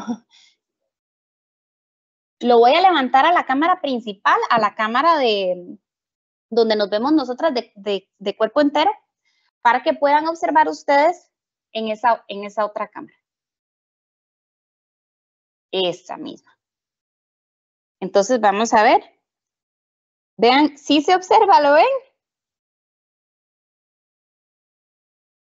Entonces voy a sacarlo. Voy a sacarlo a ver. Vean que aquí tengo amarillo y tengo el azul. Y, y sin este, Mezclarlos. mezclarlos, solo colocando un recipiente dentro de otro. Entonces observen Creo que ahí se ve bastante bien en el centro, ¿verdad? Se ve el, el amarillo arriba y el celeste al azul abajo. Entonces, aquí logramos entonces un nuevo color, un nuevo color sin mezclar ambos líquidos. ¿De acuerdo? No sé si alguna vez lo habían hecho, pero es un experimento muy sencillo. Como ven, solo dos recipientes y dos, eh, ¿cómo se llama? Colorantes. Y sin mezclarlos, porque aquí los tengo separados, podemos hacer ese nuevo o ver, percibir un nuevo color. ¿De acuerdo? Algo importante es que, digamos, estos dos son como instrumentos de laboratorio, ¿verdad? Son eh, recipientes que se usan en un laboratorio, por eso tienen medidas y demás, pero nosotros los estamos usando así grandotes para que ustedes puedan ver este, mejor la formación de ese nuevo color, pero es una, se puede hacer igual con un florero y un vaso o dos vasos de diferentes tamaños. Lo importante, como dice Laura, es que uno encaje dentro del otro, ¿verdad? Que sean transparentes, lisos, pero este, para que sepan que es, está esa opción también de, de hacerlo de esa otra forma. Sí, y solo para terminar, digamos, es que no lo quería hacer en el puro principio, voy a, a mezclarlos ahora. Entonces, aquí en este otro recipiente voy a colocar un poquito de azul. ¿Mm? Si estos recipientes son grandes, pero porque aquí en la cámara era más fácil tener estos grandotes, pero en casa pueden ser cualesquiera dos. aquí está el azul. Y por ejemplo, bueno, vean aquí, este yo no lo veo muy verde. De hecho, si lo pongo a la par de este azul, se ve solo un poquito, pero no se ve muy verde. Hay como que colocarle todavía más. Ahora sí. Yo creo que ya ahora sí. Y ahora sí ya se ve como un poquito más. Pero igual cuesta, ¿verdad? Cuesta ver el verde ahí creo que se veía mucho más evidente cuando se colocó uno dentro del otro. Pero es importante hacer las dos cosas también para ahora conversar de, ciertos, de ciertos conceptos. Entonces, bueno, les dejamos la idea, ¿verdad? De la parte esta de, generar eh, un color sin, sin mezcla. Y vamos a regresar a la presentación para conversar de los conceptos. Entonces, con respecto al color, hay montones de conceptos que podemos desarrollar que, bueno, a mí me encantan, ¿verdad? Uno es la parte del color, el pigmento, ¿verdad? De dónde viene el color y, de las, y dependiendo de, del objeto, ¿verdad? No es lo mismo, por decirles, no es lo mismo pintar agua que pintar tela, que pintar papel, ¿cierto? No es lo mismo estar con luz de día, con luz de noche, pero bueno, todos esos conceptos están englobados dentro de lo que serían las ondas electromagnéticas. Entonces, si estamos trabajando con chicos y chicas de secundaria, por ejemplo, tal vez ya podemos introducir un poco la parte de, de ondas y cómo ellas se comportan. Porque esta parte de, del color y, aunque esté en el agua, son ondas de luz, ¿verdad? Ondas de longitud de onda visible. Em, entonces, pues ahí lo pueden ir ustedes desarrollando bien. Eh, pero creo que no he visto, creo que no he visto en el chat, ¿verdad? O no me han preguntado por qué pasa eso, ¿verdad? Muy bonito hacer el experimento, ver qué se ponen, ¿verdad? Pero ¿por qué pasa eso? O sea, alguien alguien sabe o, lo esperaba, ¿verdad? Que, con colocar uno dentro del otro. Yo pensaría que no es tan sencillo, ¿verdad? De, de, predecir, ¿verdad? No es sencillo de predecir que sin mezclar dos sustancias vamos a tener un nuevo color. Yo pensaría, ¿verdad? Porque generalmente estamos acostumbrados a hacer el color o a hacer las mezclas. Entonces, ahí hay un concepto importante que no está en pantalla. Uno es, eh, perdón, que es el de, el de la mezcla. Cuando nosotros hacemos una mezcla, por ejemplo, este tarrito verde ya nosotros no lo podemos separar, ya él está mezclado.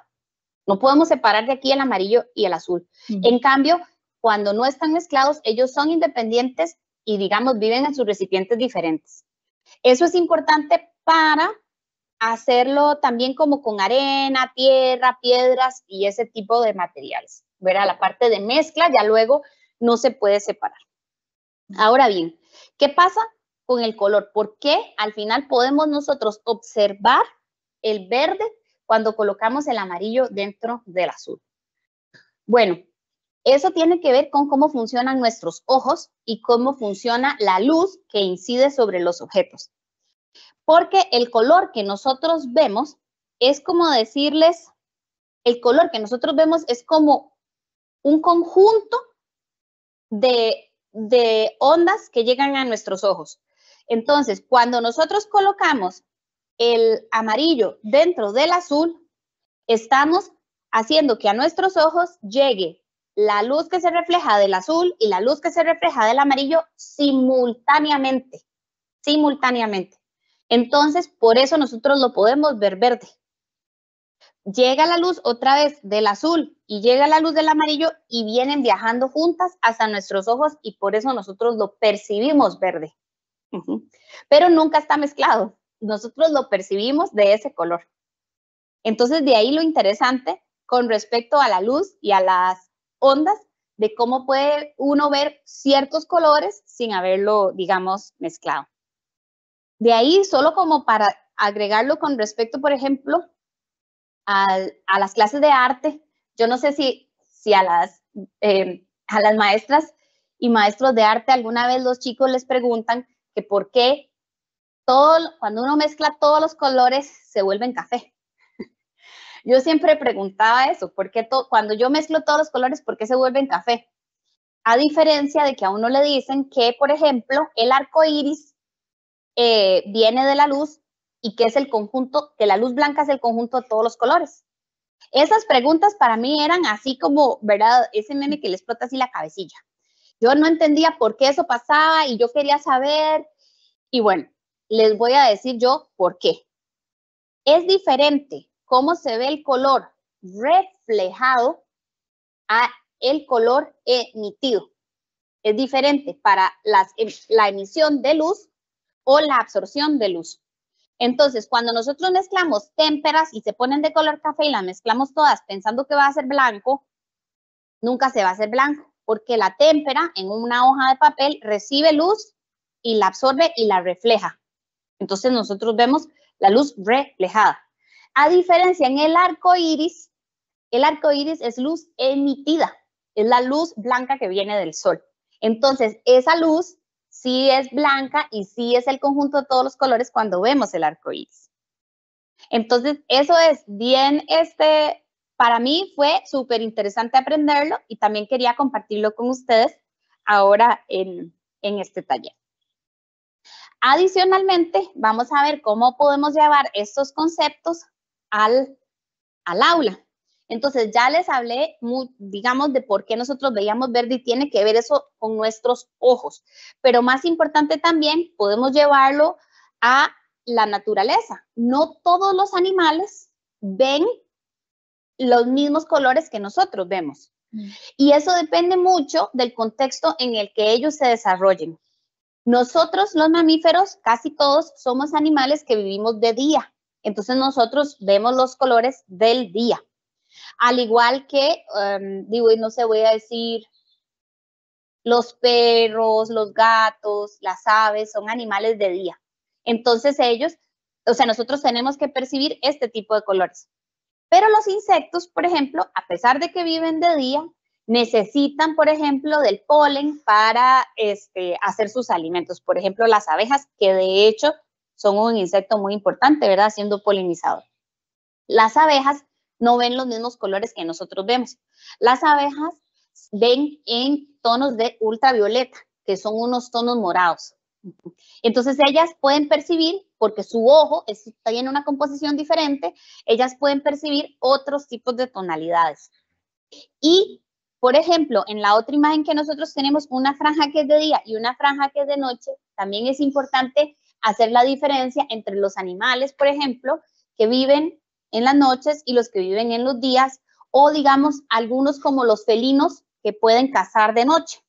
Ellos tienen condiciones diferentes en sus ojos para recibir mayor luz y poder ver en la noche. Porque también, em, relacionándolo con el día y la noche, sería interesante que ustedes en casa hagan este mismo experimento de, de la mezcla de los colores en la noche. Y me encantaría que este, nos compartan las imágenes, porque ustedes van a ver la diferencia de cómo se perciben los colores dependiendo de la luz que incida sobre ellos. Entonces, bueno, con eso les dejo esta, este experimento para que ojalá lo puedan replicar, puedan tener eh, preguntas y, no sé, ojalá otras iniciativas con otros colores, a ver cómo les va y, y nos lo pueden compartir después en nuestro formulario. Entonces, seguidamente vamos a tener un espacio para preguntas.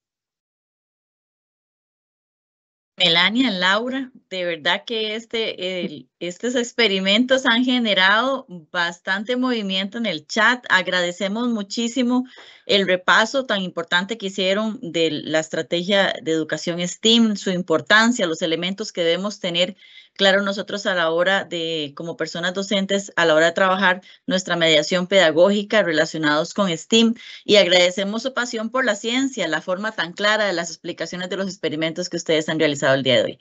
Le voy a dar la palabra a Diana, quien nos va a comentar eh, las preguntas y algunos comentarios que hemos recibido hoy en el chat. Adelante, Diana.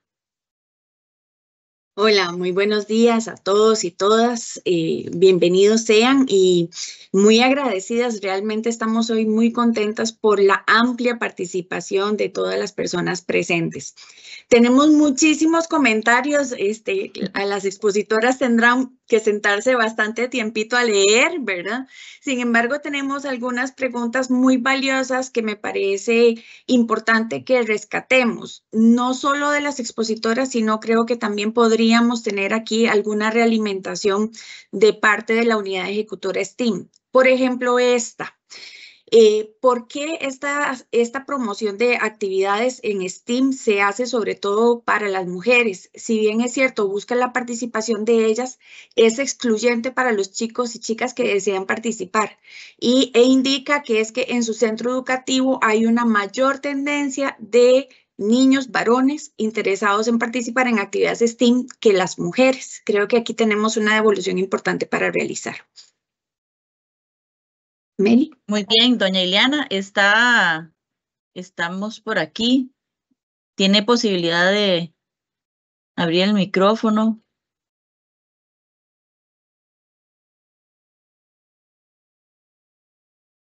Bueno, me parece eh, importante destacar, como lo decía ahora Melania, que hay una brecha importante entre el acercamiento a la ciencia de las personas eh, mujeres a diferencia de los hombres. Si bien es cierto, la estrategia de educación es para todos y todas y tenemos 10 líneas de acción a trabajar. Una de esas líneas quiere disminuir esa brecha.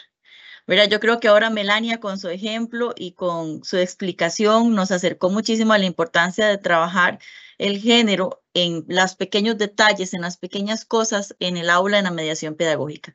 Entonces, la estrategia de educación STEAM tiene de 10 líneas de acción donde trabajamos muchísimos elementos, pero una de esas líneas de acción es precisamente disminuir esa brecha. Entonces, es importante como aclarar que la estrategia de educación STEAM es acercarnos a todos y todas a la ciencia, a la tecnología, al arte, para el desarrollo de habilidades y competencias de las personas estudiantes. Y, una, y un aspecto que se retoma o se refuerza, que es solamente un aspecto de toda la estrategia, es precisamente el disminuir esa brecha de género. Pero todos y todas estamos eh, trabajando para las personas estudiantes. Por ahí está doña Iliana, no sé si quisiera. Vamos a ver. Bueno, muy bien, podemos eh, continuar con esa aclaración en algún momento. Si alguna otra, este, hay algún otro comentario al respecto, podemos retomarlo. Gracias, Meli. Tenemos también la inquietud de eh,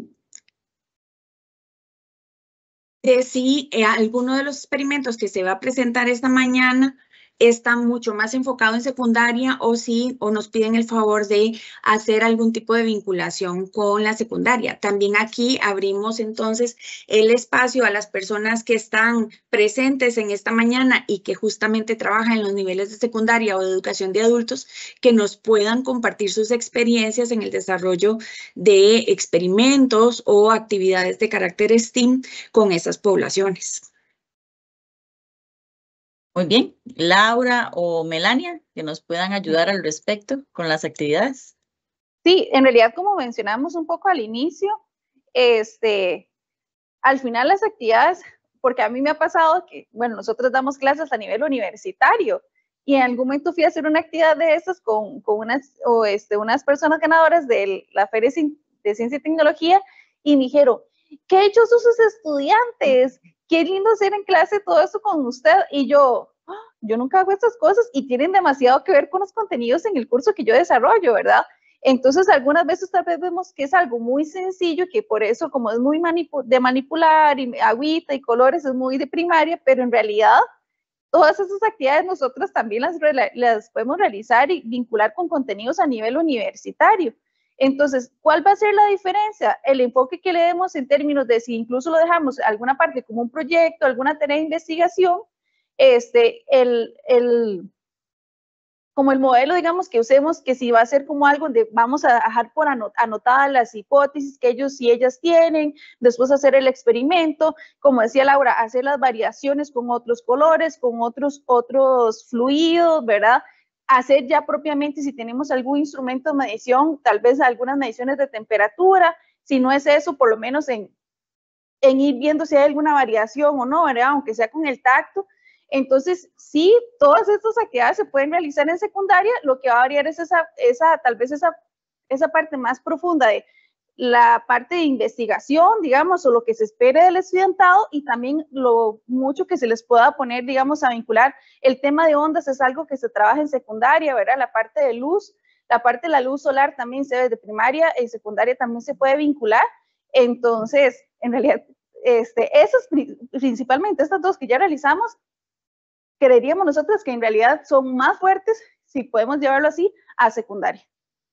Sí, gracias, Mela. De hecho, a mí me parece muy valiosa la pregunta y muy importante porque nosotros pensamos o tendemos a pensar que los estudiantes más grandes, o sea, las personas de colegio y tal vez ah, un poquito más adultos, este, requieren de otro, o sea, requieren de materiales más complejos. Y desde nuestra perspectiva, no es así ellos pueden usar los mismos materiales sencillos, de hecho, para desarrollar aún mejor el concepto. Porque las personas, em, bueno, en nuestra experiencia, ¿verdad? Las personas de colegio todo lo quieren rápido, todo lo quieren como ver de una vez el resultado. Y a, mí me parece también muy valioso desarrollarlo y, y hacerlos a ellos pensar de forma crítica, ¿qué está pasando? ¿Por qué está pasando esto? ¿verdad? Con un material muy sencillo porque además les genera, desde mi punto de vista, menos distracción.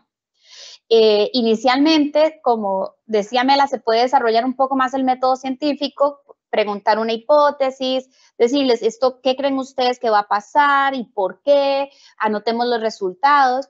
¿Por qué no en, em, cómo es relacionarlo con la clase de matemática y hacerlo en un grupo y preguntar a usted qué le parece, a usted qué le parece hacer un gráfico de barras, luego hacer el experimento, ver sí o no. O sea, creo que en realidad este es adaptable a cualquier edad.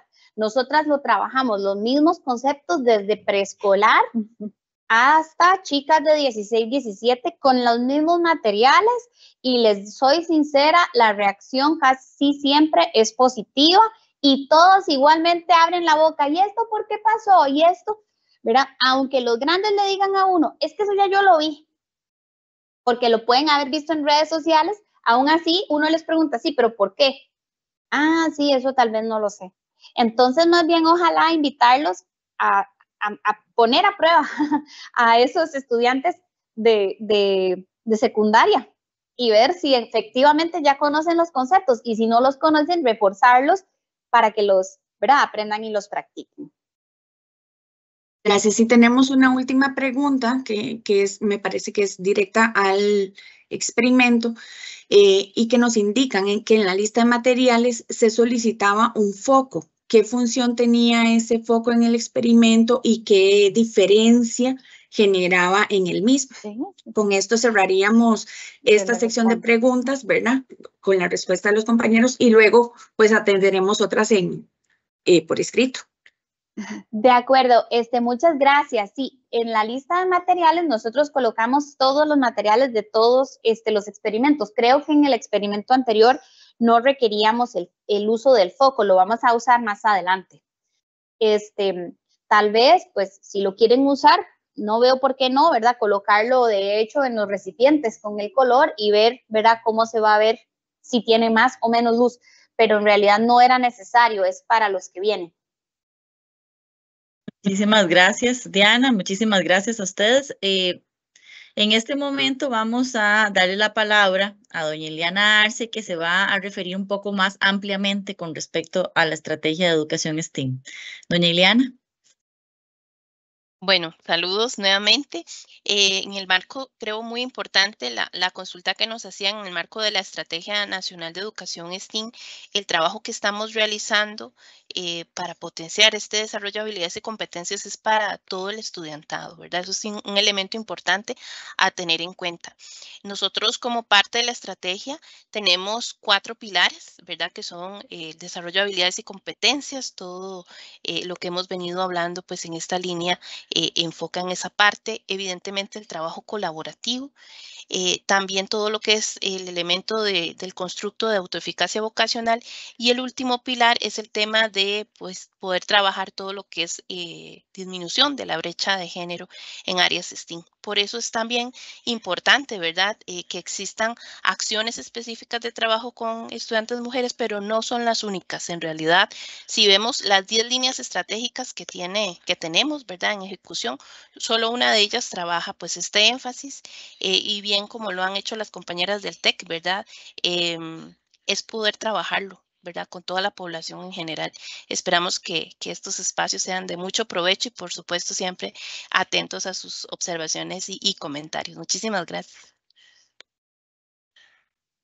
Muchas gracias, doña Eliana, por esa aclaración. Importante también eh, comentarles que ustedes han podido también observar en el chat que hay algunos comentarios que hemos estado subiendo específicamente para que ustedes también eh, puedan seguir subiendo los comentarios en algún momento. Tanto Laura como Melania van a tener oportunidad de revisarlos y si ustedes quieren hacer una pregunta y quieren recibir esa respuesta, por favor ponga su correo electrónico para poder responder por ese medio. También quiero recordarles que todas las evidencias, como lo dijimos al principio, que ustedes quieran compartir con las compañeras del tecnológico acerca de la ejecución de estos experimentos, pueden hacerlo a través del enlace y el QR que pusimos al principio y que está en el chat de este webinar para que ustedes también eh, puedan compartir con ellas cómo les fue en, ese, en esa experimentación, en poniendo en práctica lo que ahora ellas nos están compartiendo. Está ese enlace disponible para que ustedes puedan subir sus fotografías, eh, videos de cómo fueron esos experimentos y posteriormente ellas también van a recopilar esa información que ustedes les pueden compartir. Si no los hacen ahorita simultáneo con nosotros, cuando lo realicen, Posteriormente pueden, ese link va a estar abierto para que puedan subir esas evidencias. Muy bien, ahora vamos al segundo bloque, que va a estar mejor o igual de interesante que el bloque anterior. Entonces, los dejo nuevamente con Melania y con Laura. Adelante. No sé qué decirles. Eh, es que Laura es un poco la que es científica y además ingeniera, entonces espero poder llegar al nivel de Laura. este segundo bloque, los experimentos, este, los voy a, eh, van a estar a cargo de mi persona. Eh, este tercer experimento se llama luz viajera, luz que atraviesa, y aquí es donde usamos el foco. Antes estaba pensando, pero es que nosotras, digamos, al final, siempre en estas, en esas actividades, ¿verdad? hace, mucho tiempo definimos los experimentos, los materiales para que pudieran llegar a ustedes, este, para que dentro de lo posible los pudieran ejecutar con nosotras. Pero también, y ya al momento de practicar y demás, para nosotros también es importante para la voz, ustedes lo saben como docentes, ir haciendo este, cambios entre nosotras y creo que tal vez fue que hubo un cambio en el experimento 2 y este, y que tal vez por eso esperaban el foco en el anterior, pero ahora sí vamos a tener el foco. Ahora no nos encendía ahí solamente para perder su protagonismo. Pero bueno, en los materiales de ese tercer experimento, este, tenemos el molde, ¿verdad? O un dibujo de un recipiente, dos hojas de papel blanco, bond, ¿verdad? Dos hojas de papel de construcción o papel de un color diferente, este, bueno, papel diferente al bond, papel periódico, o podría ser como el, el que es como papel seda, el que usamos en los regalos, ¿verdad? Otro tipo de papel, goma, tijeras, el foco, marcadores, pilots o lápices de color. Entonces, este, ya esos son como los materiales tal vez como ven esto, ustedes dijeran que este molde yo no sé cómo tenerlo, ¿verdad? Ya ahorita van a ver que es un dibujo sencillo, que incluso ahorita mismo lo podrían este, hacer. Entonces ahora vamos a la toma de la mesa para que veamos esos materiales que ya tenemos por acá.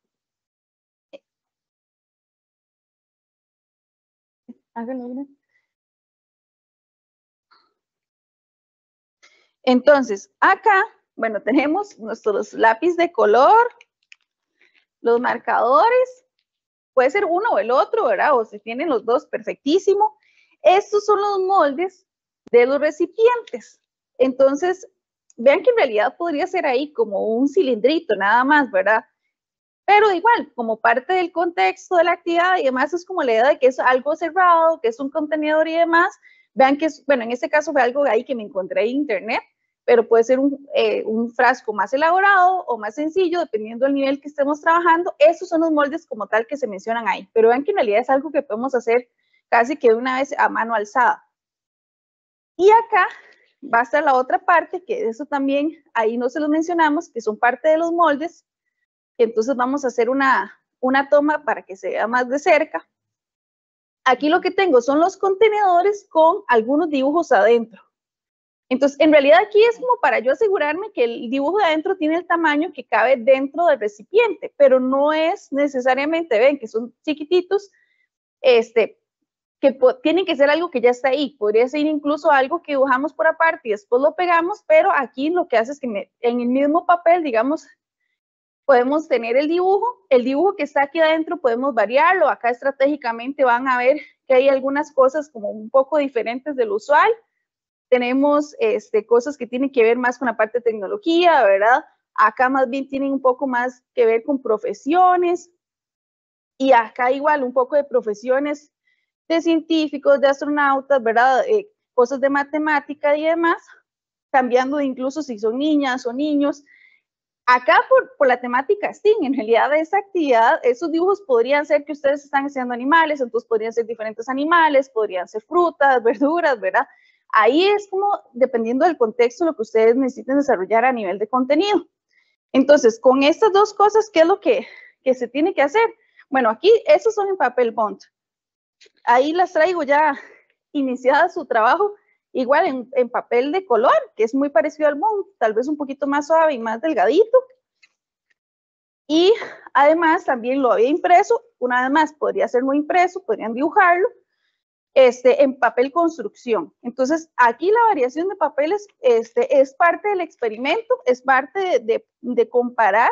Mucho en ciencia tiene que ver con eso, con comparar nosotras como físicas lo que hacemos es medir, medir en muchos contextos. En algún momento un profesor eh, en la universidad dijo eso y yo dije, ah, sí, qué razón tiene, ¿verdad? Bueno, aquí también vamos, parte de las mediciones es hacer comparaciones para poder tomar eh, hipótesis y después ver algunas conclusiones al respecto. Y este, ¿por qué ocupamos la tijera y la goma? Bueno, tengo goma de barrita, es chiquitita, porque este, para hacerlo de una vez, para que se seque, podemos usar goma líquida también. Aquí, por ejemplo, tengo en, en papel de color ya el frasco y el dibujo pintado. Nos vamos a acercar un poquito aquí en la toma. Pero también tengo frasco sin pintar y con el dibujo para que ustedes lo vean.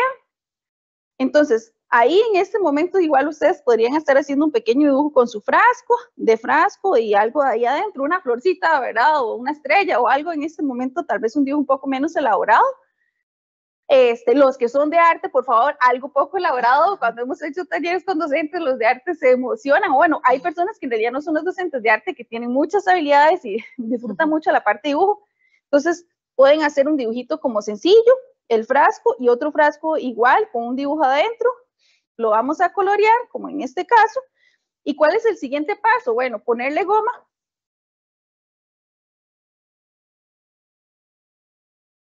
Vamos a ponerle goma al frasco. Nosotros aquí estamos en un laboratorio, entonces aquí podemos ensuciar y hacer embarrijos y por eso no, no tenemos muchas previsiones. Pero ustedes en la clase aquí posiblemente después hay que limpiar o usar alguna superficie para que no, no hagamos algún daño en el mobiliario. Ahí ya entonces el dibujo, el pedacito, verá el frasco que tiene el dibujo, le pusimos goma y le ponemos el otro encima. Acá incluso como un poco de contraluz, uno puede asegurarse más o menos de que coincidan los frascos. Entonces ya ahorita vean que aquí solo se ve el frasco vacío, pero por la parte de atrás, eh, ahorita en la cámara se ve limpio, ¿verdad? no se ve nada porque el otro frasco está en la parte interna. Aquí lo voy a abrir un momento para que lo vean.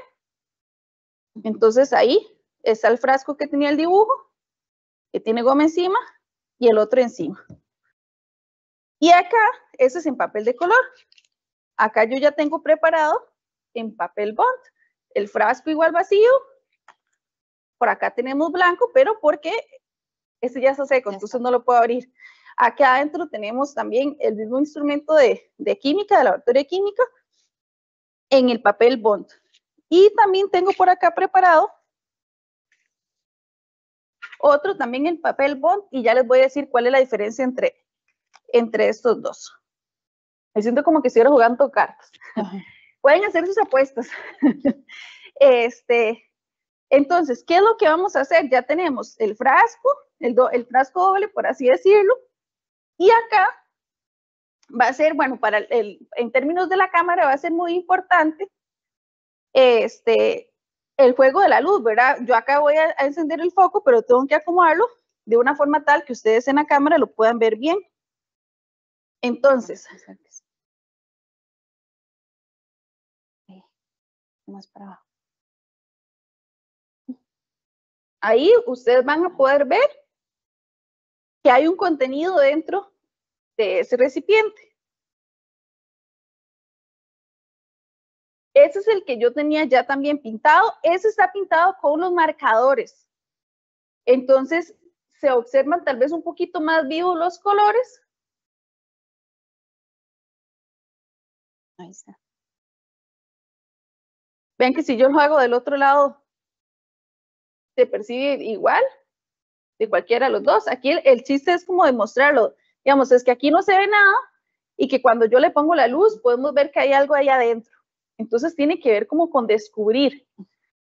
Y acá, igual en el mismo papel bond, pero pintado con lápiz de color, tenemos ese instrumento químico. Entonces, igual vean que se ve el instrumento, se ve que está pintado, pero tal vez el color es un poquito más bajito, pero bueno, es porque es lápiz de color versus marcadores, ¿verdad?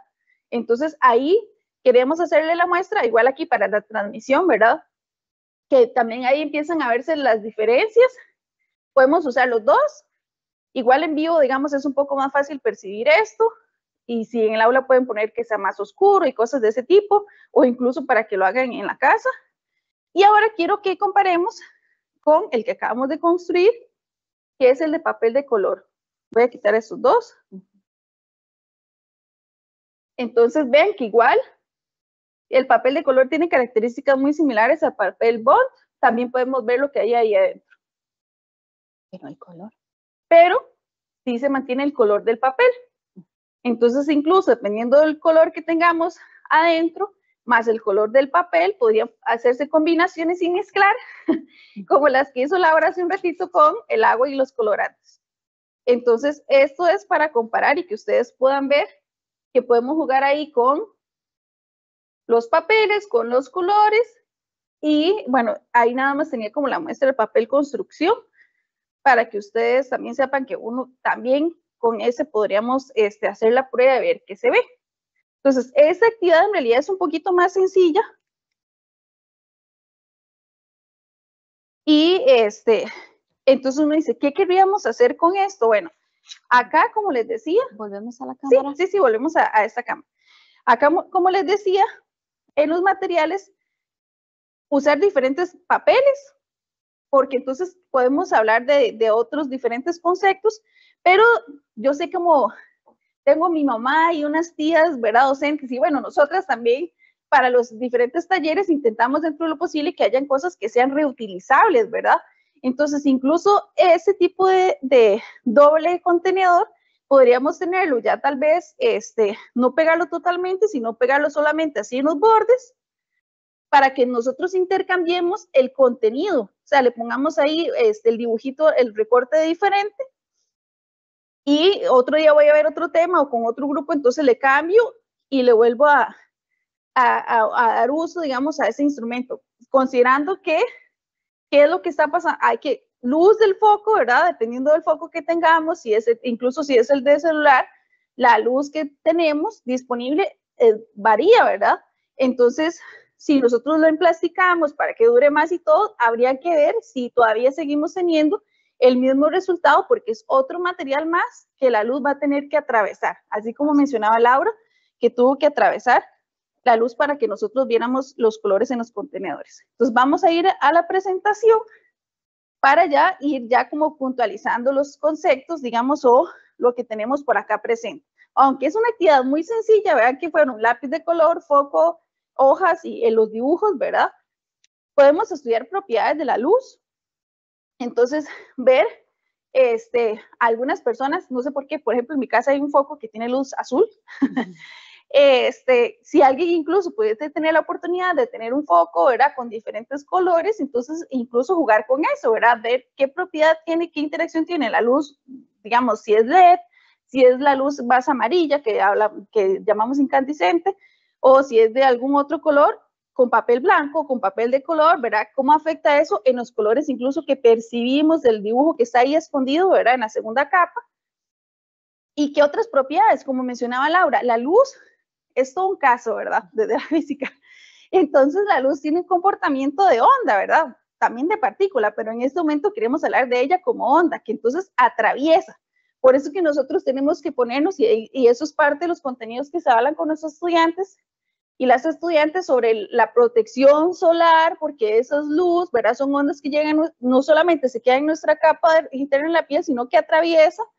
Así sucede, digamos, en algún momento habían hornos solares, ¿verdad? O sea, usted también puede dejar algo ahí y la luz solar lo puede calentar, pero entonces la luz como onda atraviesa, por eso es que yo tengo la luz del foco que atraviesa la primera capa de papel y logra llegar a la segunda y atraviesa.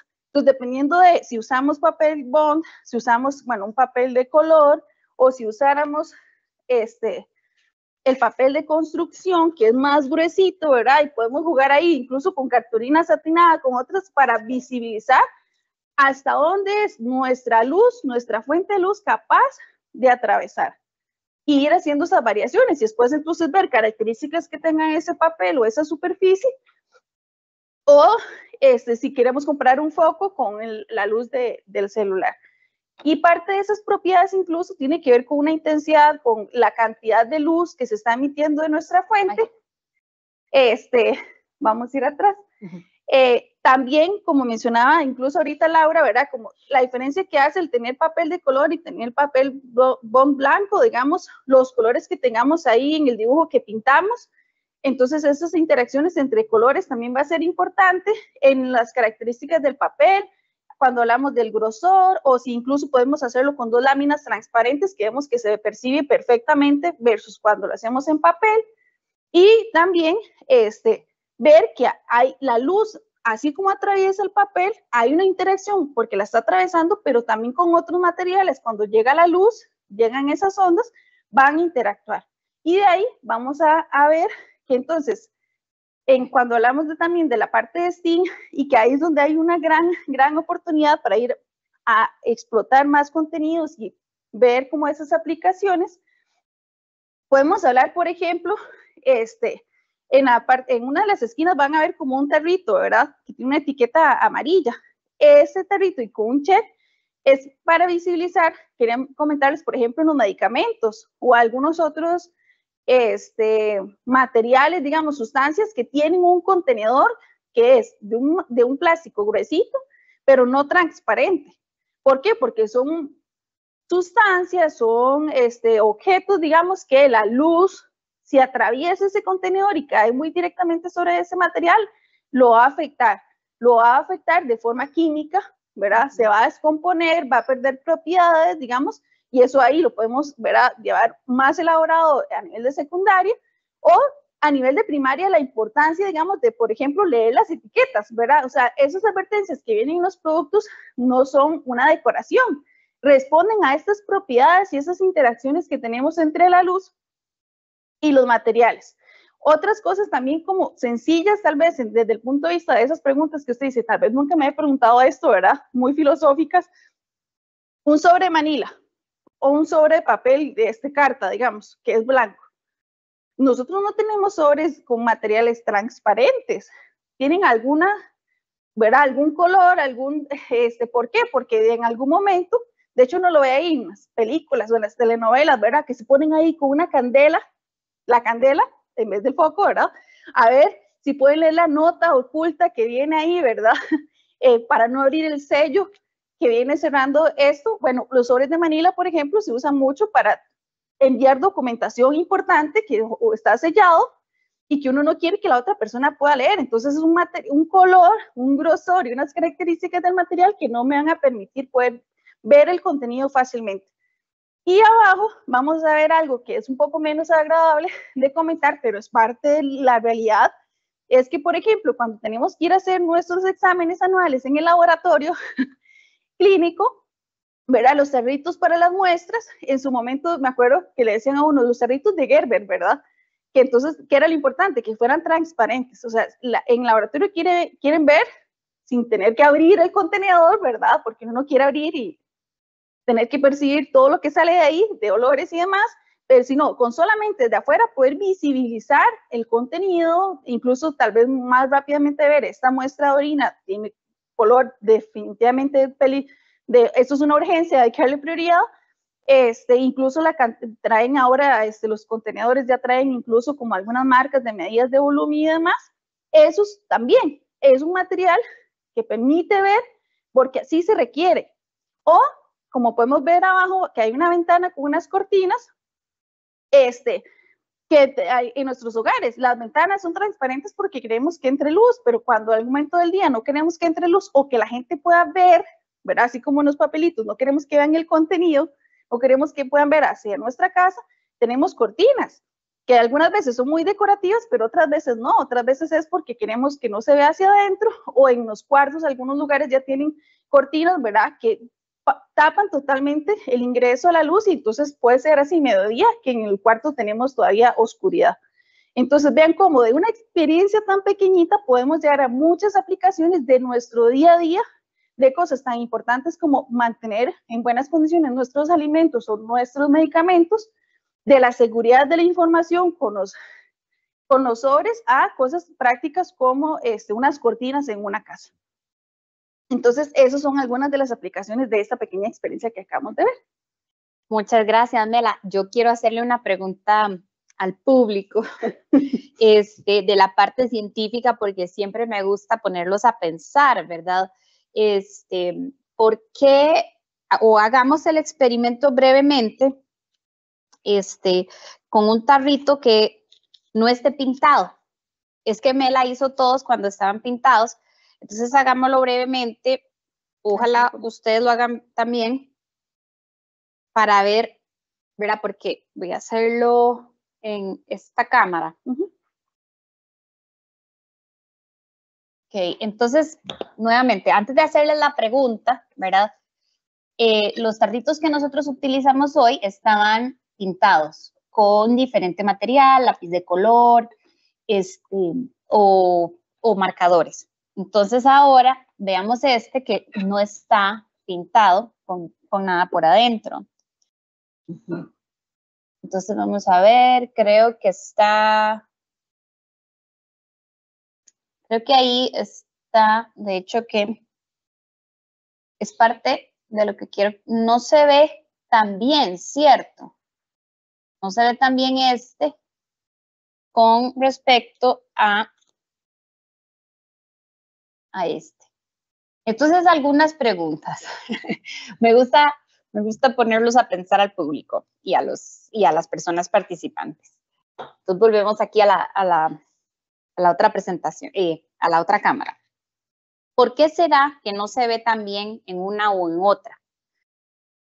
Entonces hay, hay dos cosas ahí importantes o dos conceptos que podemos elaborar en la parte de física. Este, ya ahora sí. Hay dos conceptos importantes que podemos elaborar en la parte de física. Uno es, por ejemplo, en el caso de los dos, en el caso nuevo, no estaban adheridos. No estaban adheridos, estaban separados. Ustedes vieron que no se vio tan bien. Entonces, ahí tiene que ver una cuestión de em, si están pegados o no están pegados y cómo se transmite la luz a través de, de ello, de él. Y juntándolo con lo que nos comentaba Mela de las cortinas, ¿verdad? Las cortinas a veces están pegadas, a veces no están pegadas a la ventana. Pero la cosa en breve es que eh, con el color, la que estaba pintada, sobresale mucho el color. Y esto pues eh, es un, un, como es un experimento muy sencillo, pero ¿por qué sí se ve el color y lo otro no? ¿Verdad? ¿Por qué no, no se ve tan, tan sencillo? Bueno, imagínense que pintar el papel lo que hace, aunque ustedes no lo crean, es bloquear la cantidad de luz que puede atravesarlo. Es decir, la parte blanca, la luz lo atraviesa de un lado a otro, pero la parte pintada bloquea la luz un poco más y entonces lo que se ve es la parte pintada. Entonces, por eso es que sí podemos ver la, cuando está pintado y cuando no está pintado, no mucho. Y tiene que estar completamente adherido o bien pegado, porque si hay una distancia ahí, ya no se logra ver bien. Si tienen, digamos, para las personas que trabajan con, chicos y chicas un poquito más grandes eh, y ven algunos conceptos, como por decirles microscopios, telescopios e instrumentos de investigación, eso es muy importante en la parte de resolución y de formación de imágenes. Mm. Entonces, también podemos ir es que siempre podemos ir un paso más allá. Entonces, como para, les dejo la inquietud, ¿verdad? Para que con un tarrito, un foco y unos colores podamos elaborar todos esos conceptos. Incluso ahora en la época esta tan tecnológica, ¿verdad? De en las pantallas, cómo se ve la resolución, ustedes saben que hay pantallas que se ven mejores que otras y podemos llevar el concepto hasta más, ¿verdad? A desarrollarlo más. Entonces, sin, ya con este comentario, este, creo que vamos a ir al experimento número cuatro, que también nos va a ayudar Melania.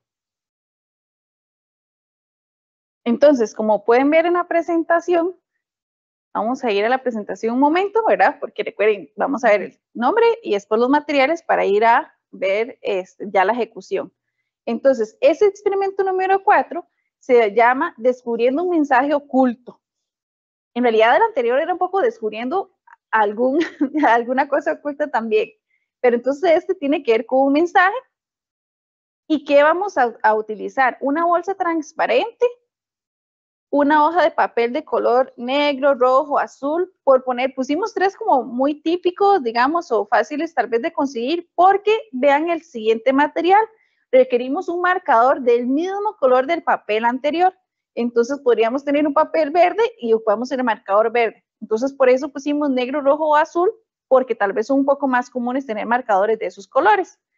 Lo otro es una cartulina blanca, una paleta de madera como de lado, goma y tijeras. Entonces, igual como hemos mencionado en los anteriores, esos son un poco los que vamos a usar ahorita, pero ya viendo lo que es, ustedes pueden hacer las variaciones con los materiales que sean más fáciles para ustedes para poder tener en casa. Y una vez más, recordando que como eso es una transmisión, e incluso con lo que acaba de comentar Laura, este, nosotros igual, algunos de los materiales tenemos que ajustarlos a lo que va a hacer que ustedes lo puedan visibilizar de mejor manera, ¿verdad? Cuando ya lo hacemos en vivo, hay un poco más de flexibilidad con algunos materiales porque en vivo todo se ve un poco más fácil, ¿verdad? Entonces, ahora sí, vamos a ese cuarto y último experimento. A la toma de la mesa. Este no, sí, ese sí. Pero veamos. Ah, ya estamos en la mesa. Entonces, acá nosotros tenemos una bolsita. Voy a quitar esto. Que esas son de las fundas que uno compra para poner hojas adentro. Pero en realidad esto puede ser una bolsa, digamos, transparente y usted lo que sí ocupamos es que tenga alguna abertura este, esto fue porque nos queda como muy fácil de conseguir, pero ustedes también pueden construir su bolsa. Como, bueno, tenemos un ejemplo por acá, este, que acá lo que usamos fue papel eh, adhesivo, papel adhesivo, que entonces, bueno, aquí incluso ya la cartulina este, quedó pegada, pero podríamos este, usarlo para que no quede pegada. Y nada más se pegaron en los bordes.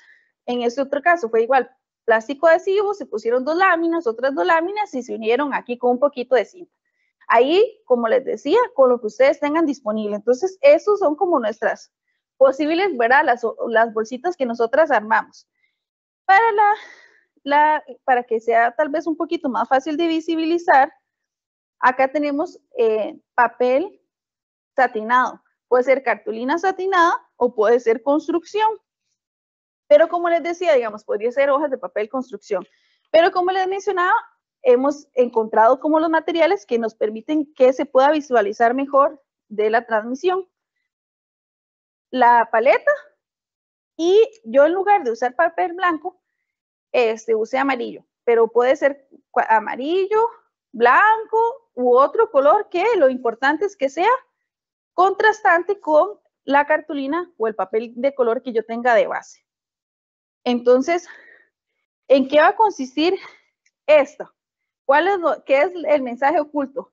Por ejemplo, aquí tenemos como algunas este, propuestas. Vamos a encontrarle por dónde está la abertura, por acá. Acá tengo la lámina transparente. Ahí se va a ver un poquito el reflejo. Vamos a, a acercarlo. Ahí. Perfecto. Y ven que hemos escrito cosas con marcador negro. Si yo a esto le pongo una hoja amarilla, por ejemplo, para que ustedes visualicen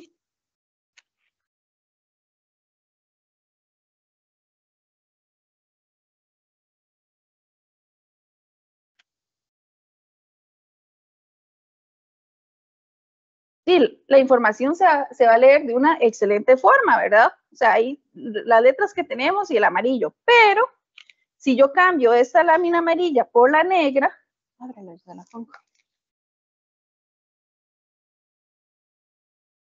nosotros somos un dúo dinámico por esto. O sea, Laura tiene muchas habilidades en las que yo complemento. Este, tengo deficiencia y eso es parte del trabajo interdisciplinario y colaborativo. Entonces, vean cómo ahora es un poco más difícil visibilizar la información. ¿Por qué? Porque tengo el negro y tengo escrito en negro. Por eso la importancia de que el marcador fuera el mismo color que la lámina que tuviéramos en el fondo. Y entonces aquí es donde mi paleta, la paleta con el papel contrastante, podría ser blanco, escogí amarillo, este, nos va a ayudar a hacer qué? A descubrir nuestro mensaje secreto. Entonces, esto es una sopa de letras. Entonces, voy a pasarlo como muy despacio. Vamos a hacer un acercamiento. Creo que está bien, ahí se ve. Entonces, aquí tengo la, la Y, la E, la O, U, E, F, C. Voy a pasarlo tal vez un poquito más rápido.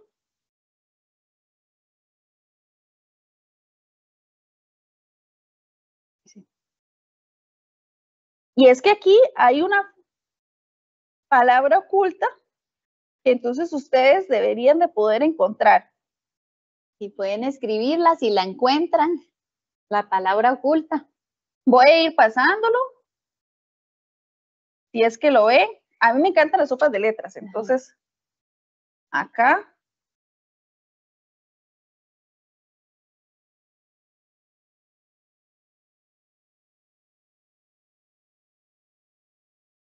es un poco difícil y es parte de la complejidad de la actividad, que cuando tenemos toda la visión completa.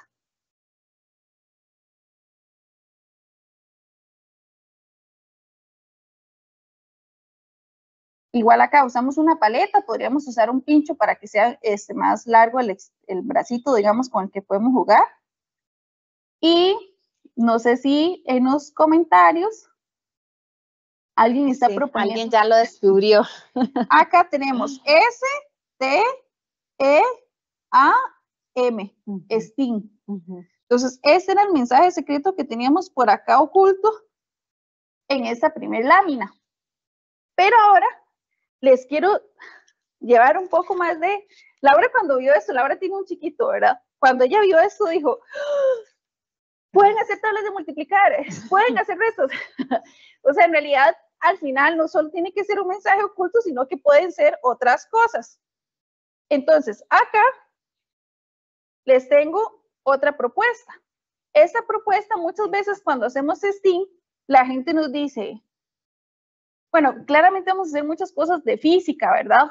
Pero en STEAM muchas veces la parte de tecnología se, se vincula precisamente con robótica, con este, es, cosas en una computadora, una tablet, de un, eh, un, celular, alguna aplicación, y bueno, está bien. También el uso que le damos también hace que sea STEAM o no, ¿verdad? Recordemos el sentido de STEAM, es ver, reforzar habilidades y, y, y promocionar, promover ese gusto por estas, por, por estas áreas. Acá, como pueden ver, vamos a acercarnos un poquito a estas. Primero, para que ustedes puedan ver. Aquí yo puedo cobrar eh, autoría, ¿verdad? Eh,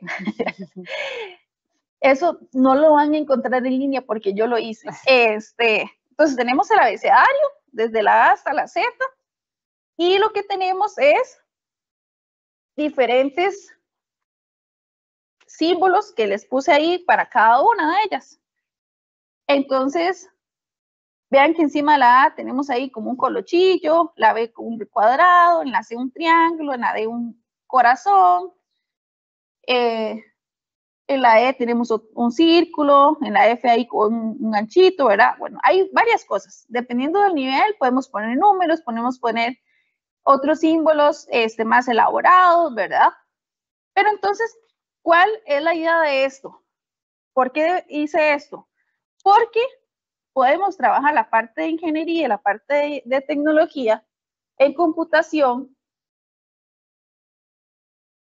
con la parte de codificación.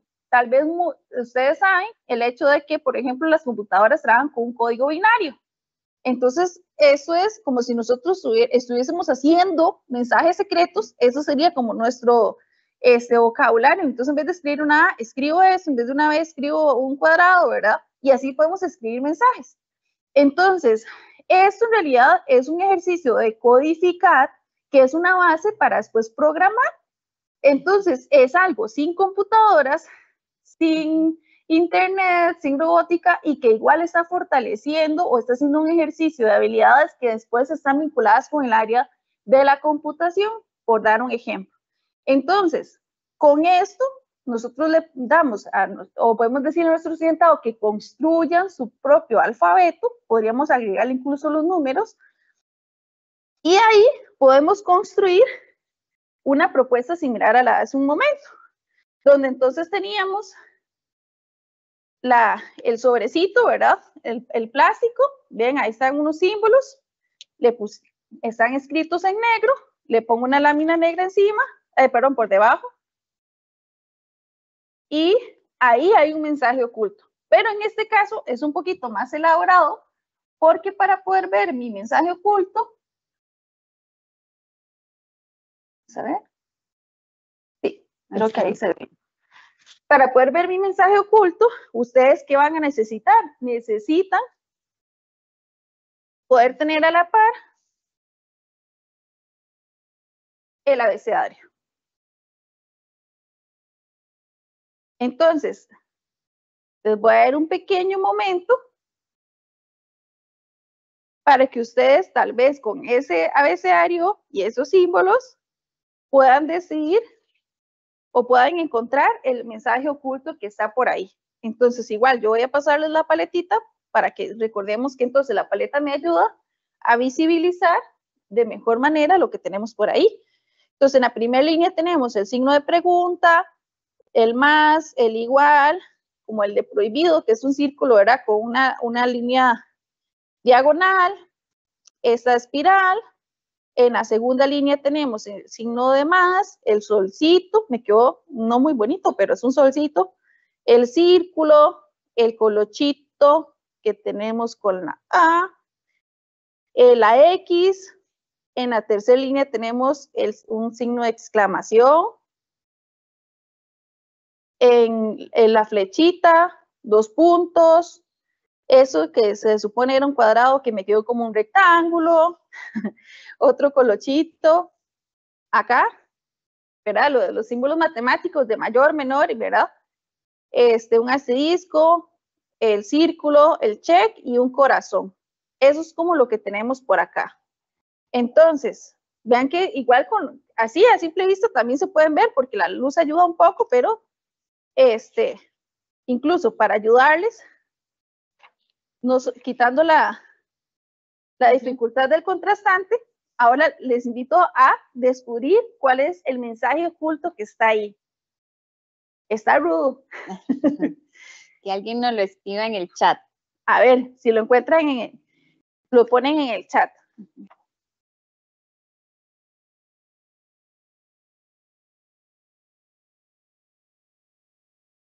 Un par de minutos o segundos.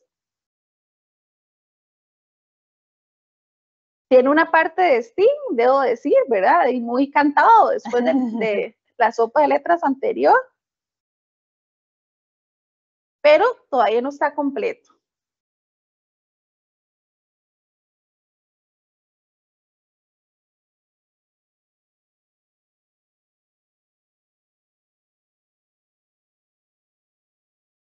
Es que están dos líneas.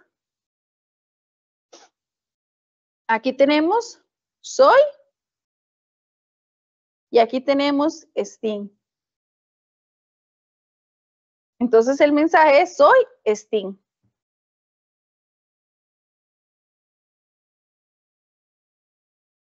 Vean que eso estuvo más elaborado.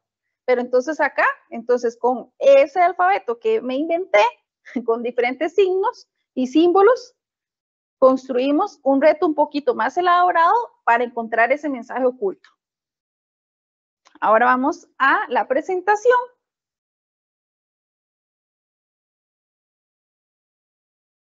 Que no está todavía, pero aquí está. Entonces, un poco vinculado igual con lo que hemos venido hablando durante la mañana, ¿verdad? Eh, el color nos encanta mucho el color, muy, muy, podrán haber notado, ¿verdad? Pero es que el color, la luz, está muy presente en el día a día, que se puede vincular con muchos otros contenidos. Entonces, vean que para poder visibilizar los mensajes es diferente. Por ejemplo, si yo lo hago así, que tengo el amarillo, a que si nada más lo tengo a negro escrito con negro, ¿verdad? Entonces, la parte del color, contraste, colores que son semejantes o que son muy contrastantes, ¿verdad? En la parte de igualdades y demás, que no necesariamente podemos llevarlo más allá de números, tal vez en matemática, objetos y demás, también con colores. Como les mencionaba, la parte de los códigos con la, con la lógica de programación básica, que podemos hacer códigos muy sencillos, algo muy chiquitito para, ¿verdad? Más pequeñitos y pequeñitas, a llevarlo a algo mucho más elaborado para estudiantado de mayor edad. Y si lo vemos incluso en los signos, ¿verdad? En, lo que usé yo para hacer este código, este, habían triángulos, círculos, ¿verdad? Pero también había un signo de porcentaje, de suma, un igual. Ahí ustedes también pueden jugar para que lo reconozcan y después preguntarles qué es ese signo, qué significa además, ¿verdad? Si queremos como hacer un poquito más lúdico de repaso o introducción a algún contenido, entonces teníamos figuras planas, signos matemáticos y también al final, por ejemplo, de tener un código a tener ¿verdad? toda la información de vuelta e identificar un mensaje secreto, también estamos identificando, trabajando la parte de sucesiones, de patrones, digamos, en la parte matemática. Entonces, este, no podemos dejar de, parte, de lado la parte de, física, pero este, también quisimos traer algo sencillo, digamos, que estuviera relacionado con la parte de, de ingeniería, digamos, de tecnología y de matemática.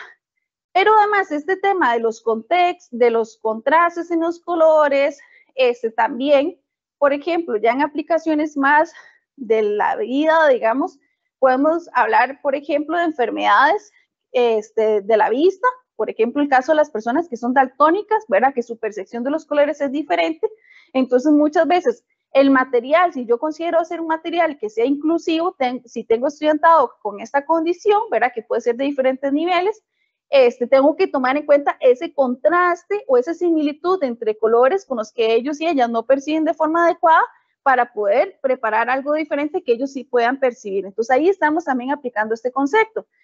En la parte de los códigos, digamos, también algo que se usa y que en su momento fue muy necesario fue también para el desarrollo del braille, ¿verdad? Para las personas que entonces a través del tacto tienen, ¿verdad? Como un alfabeto, sintiendo unos símbolos, ¿verdad? Para poder interpretar un mensaje. y que es algo que estas personas usan para poder comunicarse y para nosotros también poder ser inclusivos e inclusivas este, para que puedan recibir la información. Incluso a nivel de computación, digamos, este, ya hay muchas aplicaciones como en Word o diferentes páginas web y así, que cuando usted va a la parte de accesibilidad, van a ver cómo cambian los colores con los que se presenta la información para hacer esos contrastes este, en el texto, en los viñetas y demás, también para tomar en cuenta esa necesidad de contraste que tienen las personas con algún, este, algún padecimiento de la vista. Entonces, ahí, digamos, si queremos explorar más y llevarlo, digamos, a aplicaciones que en algún momento se tuvo que estudiar esos contrastes y esas necesidades para poder llevarlo a aplicaciones, digamos, y necesidades de diferentes personas. Entonces, con esto estaríamos concluyendo este cuarto experimento y queremos hacer un pequeño cierre de la actividad. Entonces, como ustedes vieron del tema, ¿verdad? De este webinar, no solamente la idea de, ¿verdad? de hacer STEAM, de hacer ojalá actividades con materiales sencillos, cosas bastante prácticas, sino también como ustedes vieron en cada una de ellas, ir un poquito más allá en la parte de las aplicaciones, que tal vez un poco más allá de los contenidos oficiales, de los que tenemos que visualizar en clase, ¿verdad? Pero que dan la oportunidad para investigar o para dejarles esa pregunta ahí, ¿verdad? Picando al estudiantado y entonces ver esas aplicaciones y ver cómo es que eso que estamos estudiando tiene mucha relevancia y mucha este, importancia, digamos, en resolver muchos problemas y para futuros problemas también. Entonces, la luz solar, ¿verdad? La onda que es cómo atraviesa materiales, cómo atraviesa nuestra piel, por eso la importancia de protector, la protección solar, en términos de la ropa, ¿verdad? De ponernos protector solar en nosotros, dependiendo de donde estemos, que aunque no veamos, no percibamos que hay luz, ¿verdad? Uno le dice, aunque está oscuro, igual se quema, ¿verdad? Ese tipo de cosas que son súper importantes, digamos, en el día a día, digamos, y, y repasarlo con nuestro estudiantado. Después, como mencionaba Laura en algún momento, en ver las características, los colores en el agua, en las plantas, muchas veces nos dan un reflejo de información de contaminación, de enfermedades, tanto en el agua como en el aire, la atmósfera, ¿verdad? Este, todos esos temas también se pueden vincular con muchas de esas actividades que desarrollamos hoy. También la primera parte de Laura, ¿verdad? Donde trabajaron eh, la transferencia de calor, la temperatura, entonces la parte de gestión de riesgo actividades, ¿verdad? Tanto en clase como en esos experimentos, como en las cosas cotidianas en la casa, ¿verdad? Si tengo el sartén caliente una cuchara metálica, un tenedor, y si los voy y lo agarro, me quemo, ¿verdad? Entonces, tener presente esas características también pueden eh, ser para salvaguardar nuestra salud y nuestra vida muchas eh, veces. Y como mencionaba en uno de, esos últimos experimentos, la parte de las pero la parte de las etiquetas en alimentos y en este, medicamentos, donde me piden ciertas condiciones de humedad, de temperatura, de luz, ¿verdad? Para poder mantener en las condiciones adecuadas y que se mantengan este, y hagan el funcionamiento que tienen que tener. Gracias, Mela. A mí me parece que sí, ¿verdad? Este, nosotros podemos adaptar todos los conceptos científicos o la mayoría de los conceptos científicos a nuestra sociedad. Y con eso, este, queremos darle como un mensaje final a todos ustedes, eh, personas participantes, ¿verdad? Y, y, ojalá motivarlos a participar siempre en aprender haciendo, ¿verdad? Que es parte de nuestra filosofía, eh, digamos, del proyecto y bueno, también una que llevamos nosotras muy a cabo. Hay que comprender, ¿verdad? Que la ciencia y el pensamiento científico es parte de nuestro entorno. Preguntarnos qué es lo que está pasando, por qué está pasando, cómo lo puedo este, arreglar, solucionar, ¿verdad? Y entonces fomentar una cultura de conocimiento y sobre todo pensamiento crítico y resaltar la parte de pensamiento crítico en este momento eh, de tanta tecnología en donde siempre nos dejamos guiar por lo que vemos en redes o por lo que encontramos en, en Internet. Entonces, siempre dudar, entender, preguntarse y transmitir eso a nuestra sociedad, ¿verdad? Para formar mejores eh, estudiantes. Ya para este, ir terminando, adicionalmente queremos compartirles a ustedes eh, o invitarlos más bien a seguir nuestro proyecto en, redes sociales, ¿verdad? Niñas Supercientíficas. Eh, nos pueden encontrar en Facebook, en Instagram, en donde compartimos algunas actividades de retos científicos mensuales. Tratamos de darle visibilidad a mujeres en las ciencias. Eh, tanto en las instituciones universitarias como personas trabajadoras. Y bueno, también nos encantaría, como vimos al principio, ¿verdad?, compartir las evidencias de este taller por medio de esta página eh, que manejamos. Entonces, pues, ojalá que tengan oportunidad de revisarla. Sí, y para contactar el proyecto también en esa tarjeta que está aquí al final es el correo electrónico. Entonces hay un correo electrónico del proyecto Niñas Supercientíficas arroba itcr.ac.cr donde ustedes podrían este, contactarnos a través del proyecto. Entonces, ahora vamos con Melissa. Muchísimas gracias, Melania, Laura. La verdad es que ha sido muy interesante. Nos han mantenido con mucho interés en la pantalla, escuchándoles. Ha sido eh, una realimentación importante para las personas docentes que hemos aprendido estrategias que podemos implementar y como muy bien ustedes lo, dicen desde el desarrollo sostenible, pensando en la naturaleza, desde la inclusión.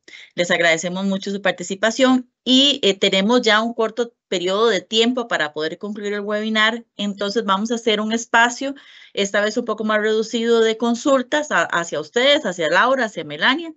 En el chat tenemos muchas más eh, comentarios y preguntas que posteriormente se los haremos llegar. Y como les indiqué anteriormente, si ustedes tienen una consulta, quieren que se les responda específicamente en el correo electrónico, pueden colocarlo ahí mismo en el chat. Muy bien. Eh, Diana, cuéntenos. Qué difícil decidir cuáles preguntas hacer. Muy difícil, muy difícil. Este, hay, hay, muchísimos comentarios, ¿verdad? Eh, de agradecimiento de, de, los y las participantes, reportes de sintonía, diríamos, en la radio o en la televisión, de todas las partes del país, jardines de niños, primarias, secundarias. La verdad que hemos tenido una asistencia impecable hoy. Em, como bien señalaba Melissa, algunas de las consultas pues no se van a poder responder en vivo debido al tiempo de la actividad. Sin embargo, eventualmente se espera poder enviar las respuestas. Y luego, para las compañeras, tenemos dos preguntas que eh, queremos rescatar. La primera es cómo lograr un trabajo en equipo en donde se vincule no solo la parte del experimento de ciencias, sino también con otras asignaturas como matemáticas, español, sociales, artes, música y demás. Esa es la primera pregunta. Bueno, gracias por la pregunta. Vamos a ver, para mí lo fundamental primero sería la comunicación, ¿verdad? Entre docentes. Entonces, si uno va a elaborar algo desde su conocimiento, comunicarle a los demás compañeros y compañeras lo que está trabajando. Yo, por ejemplo, bueno, o este caso eh, de Melania y yo aquí en, este, en esta presentación es el mejor ejemplo, porque nosotras trabajamos partes completamente separadas de, la física, ¿verdad? Porque Melania trabaja 100% en la parte de docencia y yo trabajo 100% en el área de investigación, pero si logramos comunicarnos qué vamos a hacer, logramos hacer un experimento o una experiencia mucho más valiosa. Una vez, les comento, tuvimos oportunidad de trabajar como con un grupo de docentes de diferentes áreas y de hecho, lo más valioso era escuchar a cada uno de ellos dando su aporte a ese mismo experimento. En esa ocasión hicimos otro experimento, creo que era de un barco o algo así. Pero vean, sin mentirles, habló la persona docente de artes, habló la persona docente de religión, habló la, habló la persona de matemáticas, porque cada uno es experto en su tema y en lo que debe de enseñar a mí se me ocurre rápidamente, ¿verdad? Pero yo, pero yo no soy experta, digamos, en estudios sociales, español, así.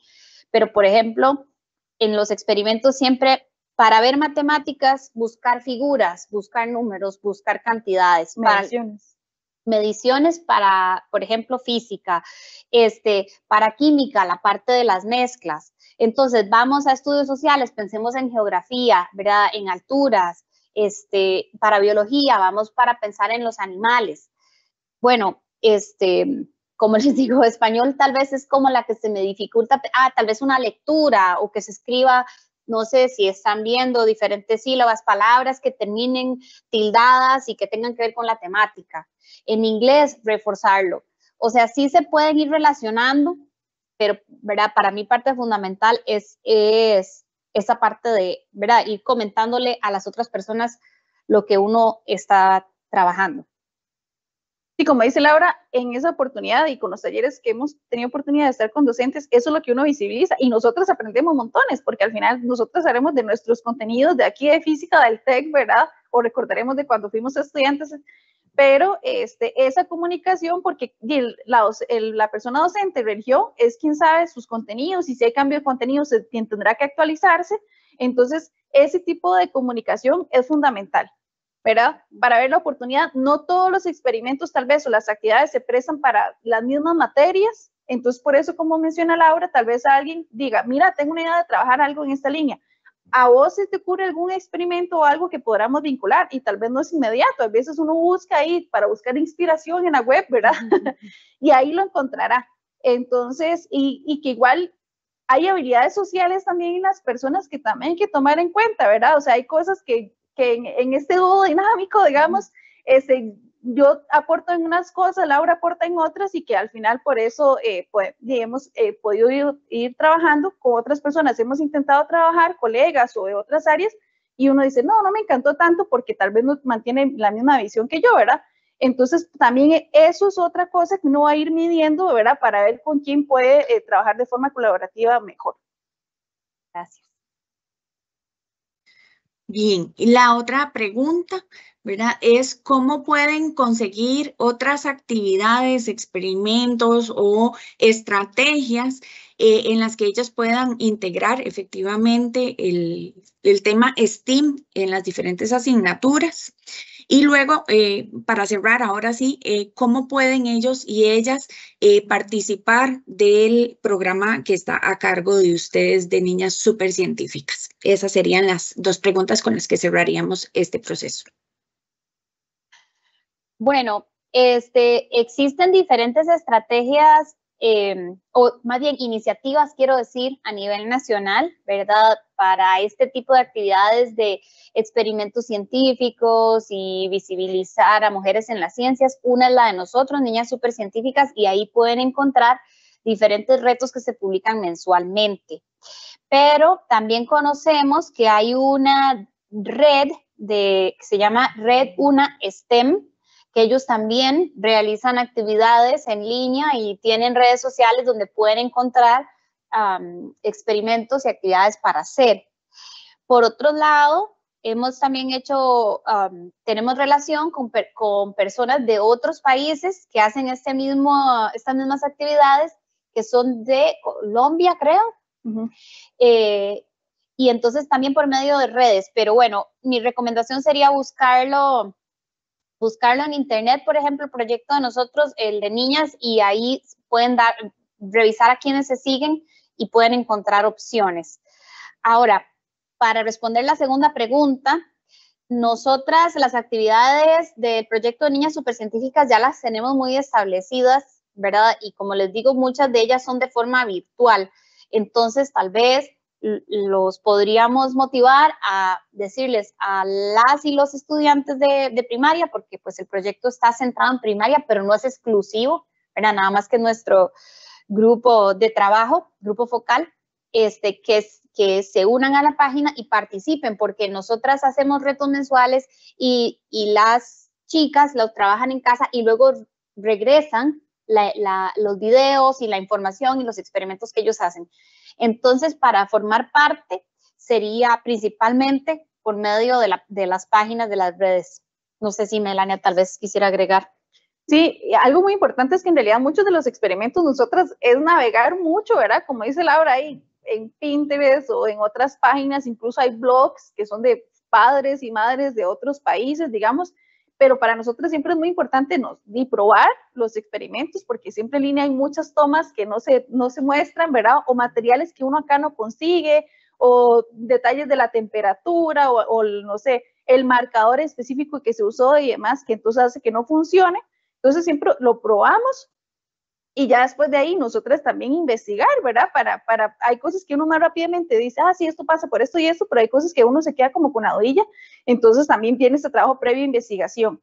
Este, que entonces eh, ahí es donde está nuestro filtro, digamos, como personas especialistas, docentes, para, para poder seleccionar qué es lo que es mejor para nosotros.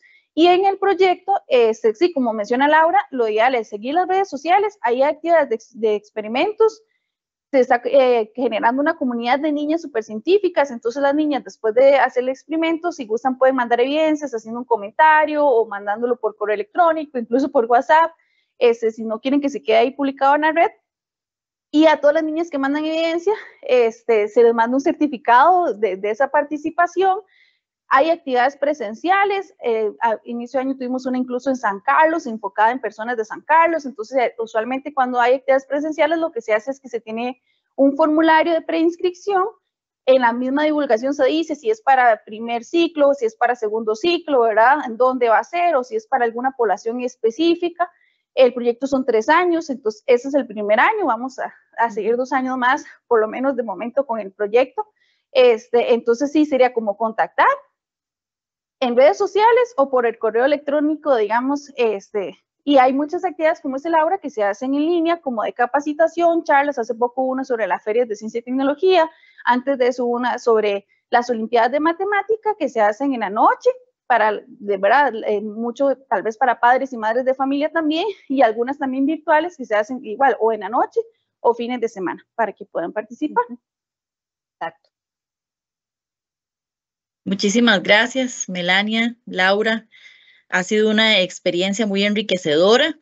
Eh, su trabajo, su esfuerzo, la pasión por lo que hacen se desborda, se nota y eso nos motiva a seguir buscando la curiosidad en nuestros estudiantes y a experimentar y como decía Laura, siempre a preguntarse algo más Siempre a preguntarse cómo sucede, por qué sucede, cuándo sucede y buscar la explicación. Eh, también es importante que nosotros como personas docentes pensemos en los elementos que ellos nos han, que ellas nos han compartido el día de hoy con respecto a la estrategia de educación STEAM en nuestra mediación pedagógica. En nombre del equipo organizador del Departamento de Orientación Educativa y Vocacional, queremos expresar nuestra más sincera gratitud Hoy ha sido un privilegio, ¿verdad?, explorar la importancia de STEAM en acción, construyendo soluciones desde el aula y cómo estos recursos fortalecen la labor educativa. También agradecemos profundamente, bueno, a Laura y a Melania por compartir esos conocimientos y experiencias con todos eh, nosotros. Les invitamos a seguir eh, colaborando para fortalecer la implementación de estas estrategias en nuestros centros educativos. Ahora bien, tienen en pantalla o vamos a colocar en pantalla el enlace para la evaluación del evento. Siempre sus respuestas fortalecen nuestro trabajo ya que nos permiten mejorar. Entonces, por favor, eh, les vamos a dar un minuto para que ustedes puedan entrar a ese QR. También lo vamos a colocar en el chat de este webinar para que puedan darnos su opinión y evaluación con respecto a esta actividad del día de hoy.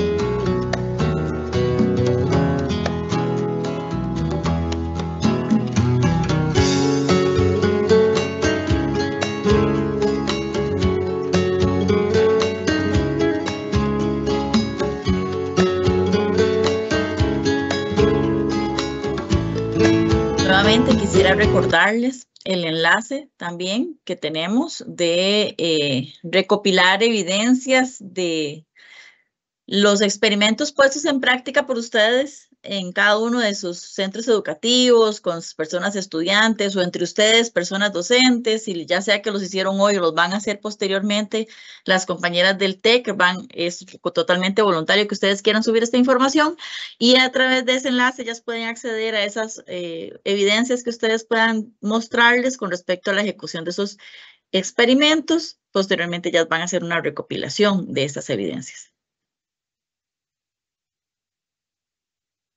Igual tenemos el enlace de este, de este formulario de recopilación de evidencias en el chat. Muy bien, no me queda más que agradecer su participación tan activa el día de hoy, que ha contribuido a que esta actividad haya sido todo un éxito. Esperamos mantenernos en contacto para futuras actividades y eventos que promuevan la mejora continua eh, en educación. Gracias por formar parte de esta valiosa iniciativa. Les deseamos un excelente día, una linda tarde. Esperamos vernos pronto. Hasta luego.